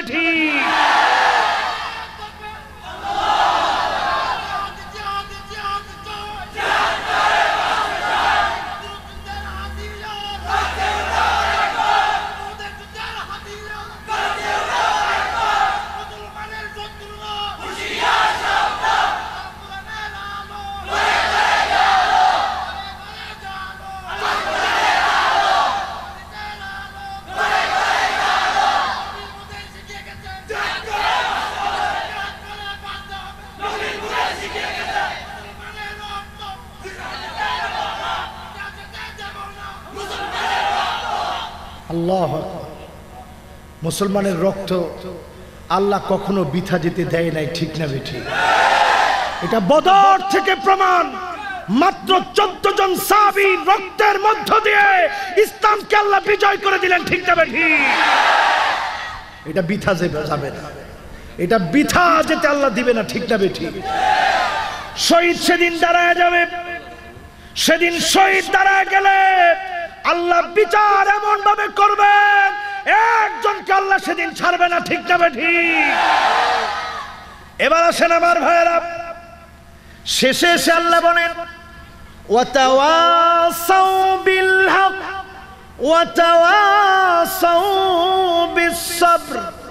আল্লাহ বলেন, ওয়াজ যদি করতে হয় আর তাওয়াসি বিল হক হক কথার আওয়াজ করতে হবে, কি কথা? জোরে কোন, সিদা কথা, কি কথা? মনে রাখবেন কথা যত সিদা কারও কারও অসুবিধা ঠিক না বেঠি? কথা যত এ, কারও কারও? আরও জোরে কারও কারও? জিতে কোরআন হাদিস ন মানিব। হিতে তো কোরআন হাদিসের কথা বললে হিতে জ্বলি উঠবে। ঠিক না বেঠি? এজন্য হক কথা ছেড়ে দিলে চলবে না আল্লাহ বলেন।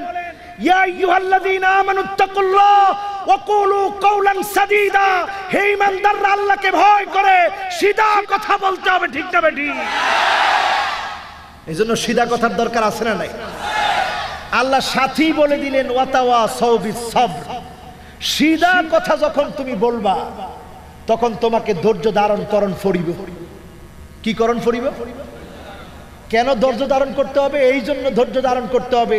তোমার কথা যখন সিধা হবে, তোমার কথা যখন কালিমাতু হক হবে, বাতিল পন্থীরা খেপে যাবে। ওই খেপার কারণে মামলা করবে, হামলা করবে, তোমাকে মারবে, কাটবে, ফাঁসি দিবে, কিন্তু দিনের দাওয়াত থামবে না, ঠিক যাবে এর নাম ইসলাম, এর নাম সুরায় আসার, এর নাম সময়। যদি বুঝতে পারেন, আল্লাহ জান্নাত দিয়ে দিবে, আল্লাহ তালা ঠিক যাবে ঠিক সুরাটার দাম এমনি বেশি না। ইমাম শাফি রহিমাহুল্লাহ বলে, যদি আল্লাহ তালা কোরআন কারিমের ভিতরে সুরাতুল ফাতেহার পরে আর একটা সুরা নাজিল করতেন, সুরাটার নাম সুরাতুল আসর। এই সুরাটা মানুষের জীবন পরিবর্তনের জন্য যথেষ্ট হয়ে যেত, জোরে এমনকি আমার রসুলের সাহাবিরা একজন আরেকজনের সঙ্গে যখন দেখা হতো হাত্তা ইয়াতাফাররাকা। তারা পৃথক হওয়ার আগে তারা সূরাতুল আসর পড়ত, অনুধাবন করত, সময় ফুরিয়ে যাচ্ছে। এটা কল্পনা করে কাঁদতে কাঁদতে তারা বিদায় নিত, জোরে কোন আল্লাহ আজকে আমাদের ভিতরে এত মারামারি, কাটাকাটি, এর অন্যতম কারণ হচ্ছে আমরা সিয়ারের লোভী। কিসের লোভী? একখানা ডর হরি হওয়া না, কিসের লোভী? আসলে এই সিয়ারটা কার? জোরে কর সিয়ার কার? ক্ষমতা কার? ক্ষমতা কার? ক্ষমতা কার? এই বছরও যেই জায়গাগুলো আমি দেখলাম, উল্লেখযোগ্য, আপনারা দেখবেন এই বছরে। আর টিভিতে ছয়টা দশে। উল্লেখযোগ্যের মধ্য থেকে দেখলাম হজরত আইয়ুব আলহ সালাম, তিনি ওনার কওমের লোকদেরকে ডেকেছেন। দাওয়াতে সারা দিয়েছে কওমের লোকেরা। আল্লাহ পাক তাকে পরীক্ষা নেওয়ার জন্য আঠারোটা বছর আল্লাহ পরীক্ষা নিলেন, জোরে কোন আল্লাহ আপনি, আমি পরীক্ষা দিছি কয় বছর? নবী পরীক্ষা দিয়েছে আঠারো বছর। রোগে যখন উনি, ওনার দেহটি যখন রোগে সোগে রোগাগ্রস্ত হয়ে গেছে, সেই মুহূর্তে আল্লাহ তাআলা অর্ডার করলেন, আইয়ুব, তোমার পায়ের নিচ থেকে, পাশ থেকে একটা কুয়ার ভিতরে পানি উঠতেছে, ওইখানে গিয়ে গোসল করো। তিনি যখন ওইখানে গিয়ে গোসল করলেন, আল্লাহ তালা রোগ শোক সব ভালো করে দিলেন, জোরে কোন সুবহানাল্লাহ। গিয়ে দেখেন, আজকে পর্যন্ত অমানে, সেই কুয়া এখনও পর্যন্ত অক্ষত আছে, যেখান থেকে আইয়ুব আলাইহিস সালাম গোসল করেছিলেন, জোরে কোন সুবহানাল্লাহ। ইউনুস আলাইহিস মাছের পেটে চলে যাওয়ার পর তিনি একটা দোয়া পড়েছিলেন, কি দোয়া? অনেরা সবাই জানেন না এটা। তো সবাই একটু মুখস্থ একখানা ডরহরি হওয়া না দোয়াটা কি?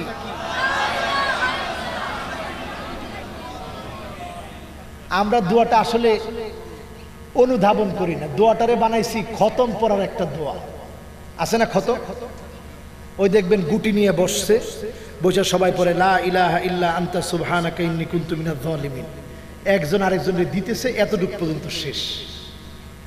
এই দোয়া তিনি অন্ধকারে পড়ে। আল্লাহর কাছে বলেছিলেন আল্লাহ, তুমি ছাড়া কোনো ইলাহ নাই। সুবহানাক, তোমার পবিত্রতা ঘোষণা করছি। আল্লাহ, আমি তো একটু ভুল করে ফেলেছি। আল্লাহ, তুমি আমারে ক্ষমা করে দাও। জোরে কোন সুবহানাল্লাহ।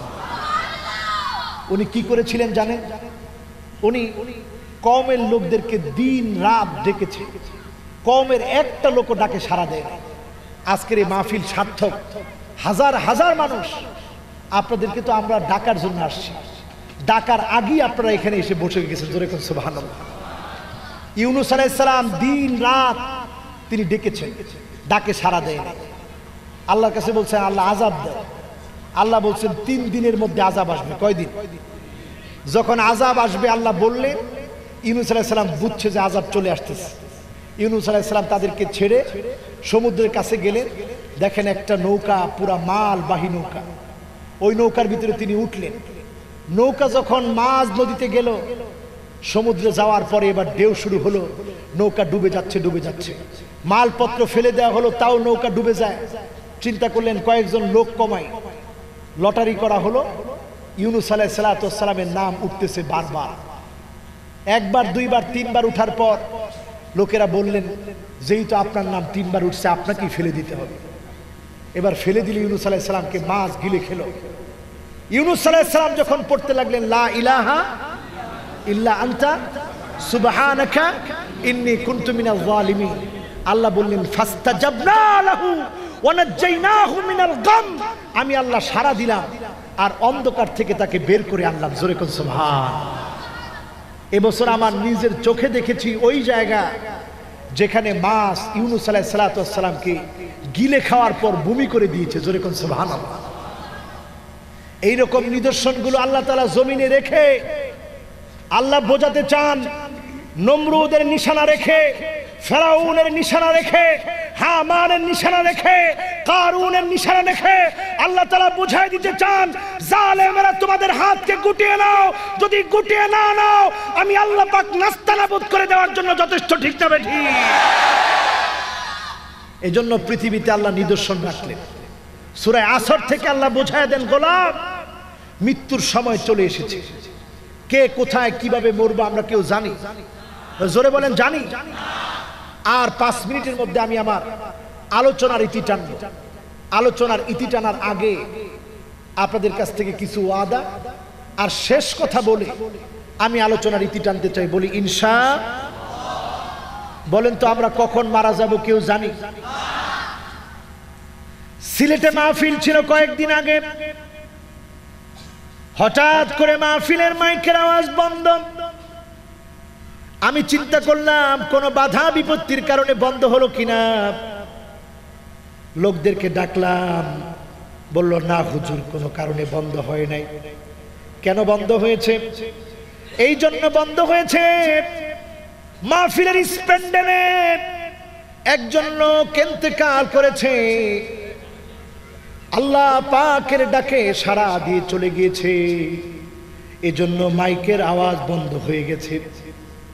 জানাজার নামাজ হলো, দাফন কাফন হলো, ওয়াজে বসতে বসতে রাত বারোটা বেজে গেল। আমি তখন চিন্তা করতে লাগলাম, মালিক, এমন এক মৃত্যুকে আমাদের পিছনে আল্লাহ দিয়ে দিয়েছি। জীবন পরিবর্তনের জন্য বেশি ওয়াজ লাগে না। একদিন আমাকে অন্ধকার কবরে চলে যেতে হবে, ঠিক না বে ঠিক? কবি বড় চমৎকার করে বলেন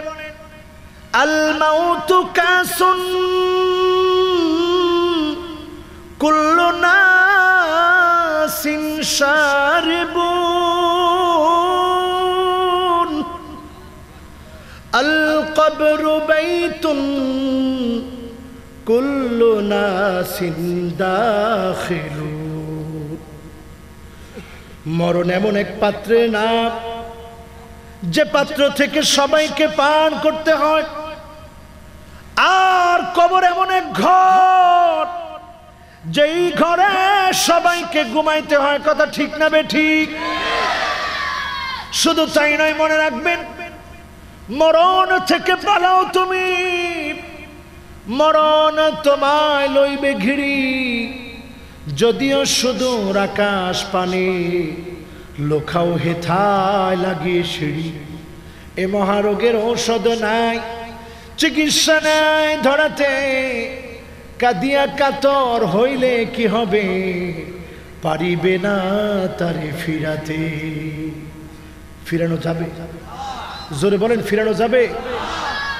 আল্লাহর কাছে কামনা করি, আল্লাহ, তুমি আমাদেরকে শহীদি মৃত্যু দান করে দিও, বলি আমি জোরে বলেন আমি আমার রসুল বলেন, মান আরাদা শাহাদাতা বিসিদকিন কেউ যদি শাহাদতের মৃত্যু মন থেকে কামনা করে, আল্লাহ রাব্বুল আলামিন ওই মানুষটাকে বাল্লাগাহুল্লাহু মানাজিলা শুহাদা, ওয়া ইন মাতা আলা ফিরাশিহি, ওই মানুষটাকে আল্লাহ তাআলা মৃত্যু দান করবে।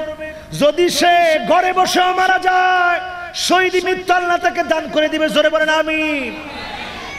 আল্লাহর কাছে কামনা করি, আল্লাহ। তুমি আমাদেরকে শাহাদতের মৃত্যু দান করে ধন্য করে দিও বলে আমি আমার মা বোনদের ব্যাপারে বলতে বলা হয়েছে। যে কথাগুলো বললাম, সব কথাগুলো কি পুরুষের না মায়েদেরও? জোরে কোন পুরুষের না মায়েদেরও? ইসলামের জন্য যে নারী সর্বপ্রথম জীবন দিল নাম কি?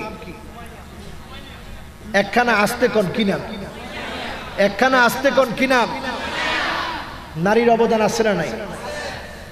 সেই নারীরা কেমন নারী ছিল? আমার মা বোনদেরকে বলব, মা বোনেরা, আপনাদের কাজ দিয়ে যেতে চাই চারটা, কয়টা? সাইরে সাইরে অনেক মিল আছে, এখন কিন্তু কেউ আর উঠবেন না। আমরা একেবারেই শেষ। যেহেতু মায়েদের কথা বলা হয়েছে, একটি হাদিস দিয়ে মা বোনদের জন্য কথা বলে, পরিশেষে আমরা মোনাজত করে বাড়ি যাব, বলি, ইনশা আমার মা বোনদেরকে বলব, মান সল্লাত খমসাহাব আমার যে মা বোন, আল্লাহর জন্য পাঁচ অক্ত নামাজ পড়বে। ওসামাত শাহরাহাব মাস ব্যাপী রোজা রাখবে। ও আতাত জাওজাহাব স্বামীর আনুগত্য করবে। ও হাফিজাত ফরজাহাব লজ্জাস্থানের হেফাজত করবে। ওই মা বোনদেরকে আল্লাহ পাক কেমতের দিন আল্লাহ ডাক দিয়ে বলবে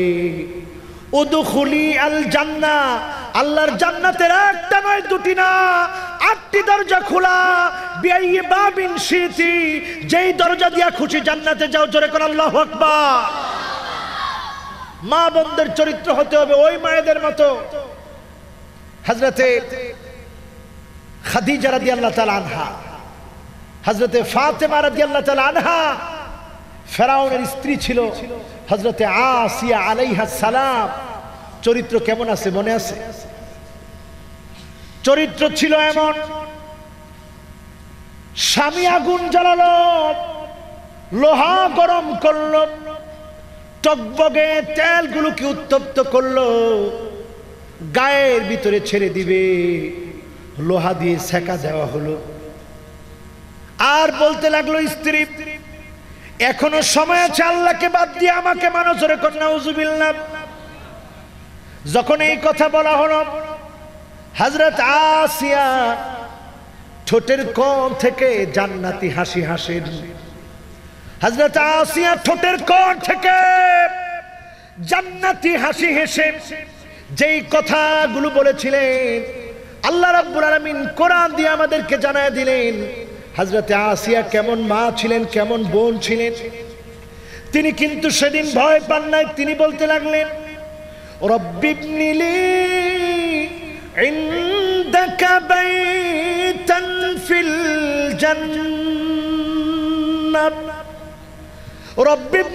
আয় আমার জন্য বানাও। ইনদাকা মানে তোমার কাছে, বাইতান মানে একটা ঘর। ফিল জান্না মানি আল্লাহ, তোমার জান্নাতে জোরে কোন, আল্লাহ আকবার।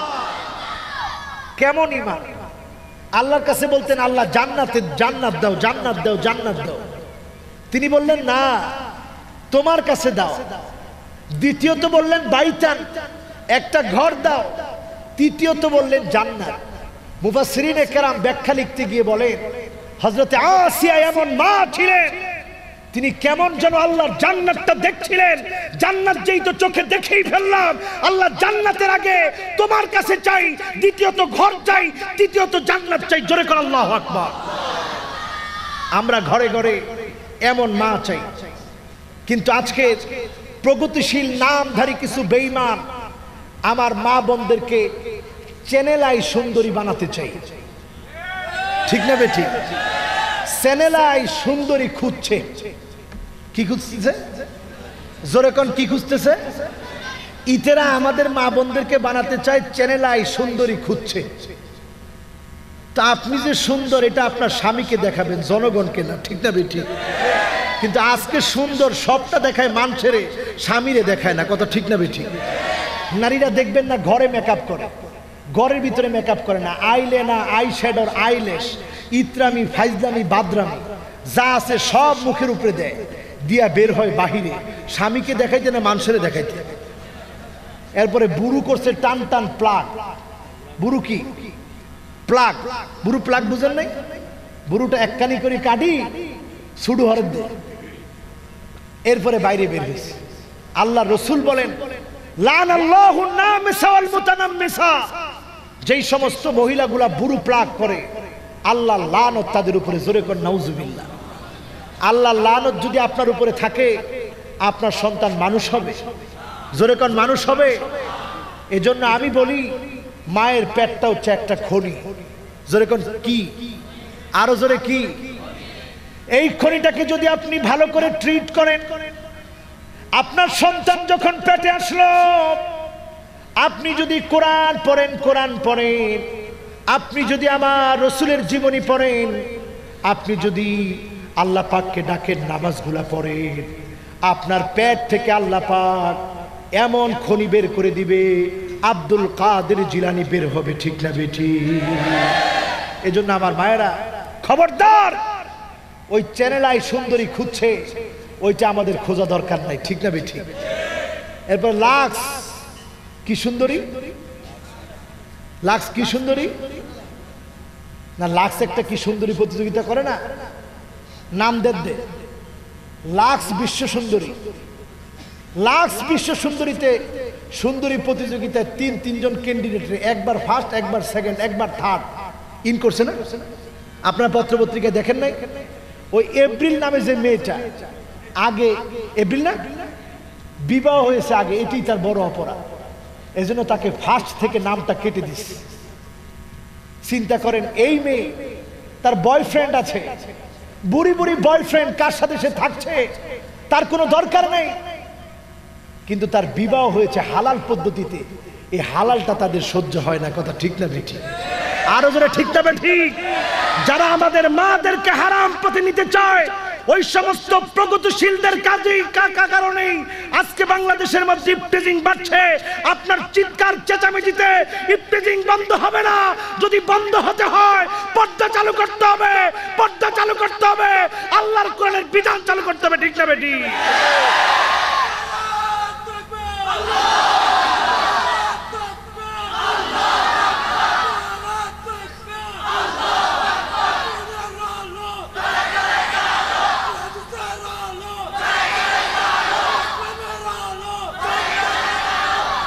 মাশাল্লাহ আজকের স্লোগানের ভিতরে বৈচিত্র্য আছে অনেক। আল কোরআনের আলো। বাজিরে ঘরে ঘরে তো কেমন পর্যন্ত জ্বালাইতেছেন আপনারা। কোথায় কোথায়? আরও জোরে কোথায়? সংসদে জ্বালালে লাভটা কি বলি শেষ করব ইনসা এই কষ্ট হচ্ছে আপনাদের? সংসদে জ্বালানোর প্রয়োজনটা কি একটু শুনে আপনি মনে করেন একটা মোমবাতি জ্বালালেন সেখান থেকে একজন, দুইজন, তিনজন, চারজন, পাঁচজন হাজার জন বাতি জ্বালায় জ্বালায় জ্বালায় জ্বালায় নেওয়ার পর একটা এলাকা আলোকিত হলো। আরেকটা কারেন্টের অফিস করে সেন্টার থেকে আপনি সুইচ টিপ দিলেন, গোটা বাড়িগুলো আলোকিত হলো। কোনটা সহজ? সেন্টার স্থাপন করে খালি সুইচ টিপ দিলেন, সব বাড়িগুলো আলোকিত হয়ে গেল। সহজ না? জোরে কোন সহজ না? আমাদের চেয়ারম্যান সাহেব আছেন এখানে বসা। এমপি সাহেব ওনার সাথে আমার অত্যন্ত ভালো সম্পর্ক। এখন এই চেয়ারম্যান সাহেব এমপি সাহেব, এদেশের প্রত্যেকটা এমপি যদি পার্লামেন্ট থেকে আল্লাহর কোরআন দিয়ে কথা বলতো, খোদার কসম, এক সপ্তাহ আগে মদ, জুয়া ইফটেজিং বন্ধ হয়ে যেত, ঠিক না ঠিক কিন্তু আপনি দেওয়ালে দেওয়ালে লিখে রাখবেন, মাদককে না বলুন, হেরোইনকে না বলুন, আফিমকে না বলুন, গাজাকে না বলুন, মেরেসুয়েনাকে না বলুন এরপরে ইয়াবা ট্যাবলেটকে না বলুন। তখন ইয়াবা ট্যাবলেট বাবা হয়ে পেঁয়াজের ভিতর দিয়ে আপনার সমাজে ঢুকে যাবে, ঠিক না বেঠিক? এখন ইয়াবা ঢুকে কি দিয়া দেখছেন? একটা কাঁচামরিচ লাল, ওই লাল কাঁচামরিচের ভিতরে ইয়াবা আছে না নাই? যখন আপনি মাদককে না বলুন, দেওয়ালে দেওয়ালে লিখে রাখবেন, তখন মাদক ইয়াবা হয়ে আপনার ঘর পর্যন্ত নেশার সবল একটা মরিচের ভিতরে ঢুকে যাবে, আপনার ছেলে ধ্বংস হবে। যদি এদের বিরুদ্ধে আপনি আল্লাহর কোরআনের আইন কি স্টাবলিশ করতে পারতেন, খোদার কসম, এক সপ্তাহ আগে মত নিষিদ্ধ হয়ে যেত, ঠিক না বেঠি? এজন্য মাত্র তিনটা আয়াত, মদের বিরুদ্ধে আল্লাহ নাজিল করলেন। মদ যেখানে সবচেয়ে বেশি চলতো, মদ আসেনি? জোরে কোন আসেনি সেখানে? নাই। মদ নিষিদ্ধ হয়ে গেল। এজন্য আমার ভাইরা সমাধান দিতে পারে একমাত্র কি? জোরে কোন, সব সমস্যার সমাধান? সব সমস্যার সমাধান! আজকে গোটা পৃথিবীর মানুষ সুখ খুঁজে বেড়ায়।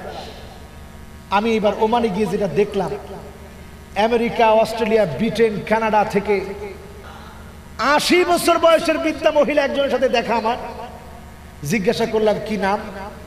খ্রিস্টান তার নাম বলল। জিজ্ঞাসা করলাম, আপনি এত একটা বুড়ি মানুষ, একা একা কেন আসছেন? মহিলা বলল, আমার কোনো পরিবার, পরিজন বলতে কেউ নেই। এজন্য আমি একা একা এসেছি। আমি অ্যানালাইসিস করে যেটা ভাবলাম, সেটা হচ্ছে এই এই মহিলাটা জীবনে তার গোটা সময়টা পার করেছে বিবাহ ছাড়া। অবৈধ পন্থায় গোটা জীবন পার- পার করেছে। লাইফ লিড করেছে তার বয়ফ্রেন্ডদেরকে কিন্তু যখন বুড়া হয়ে গেছে বয়ফ্রেন্ড আসেনি।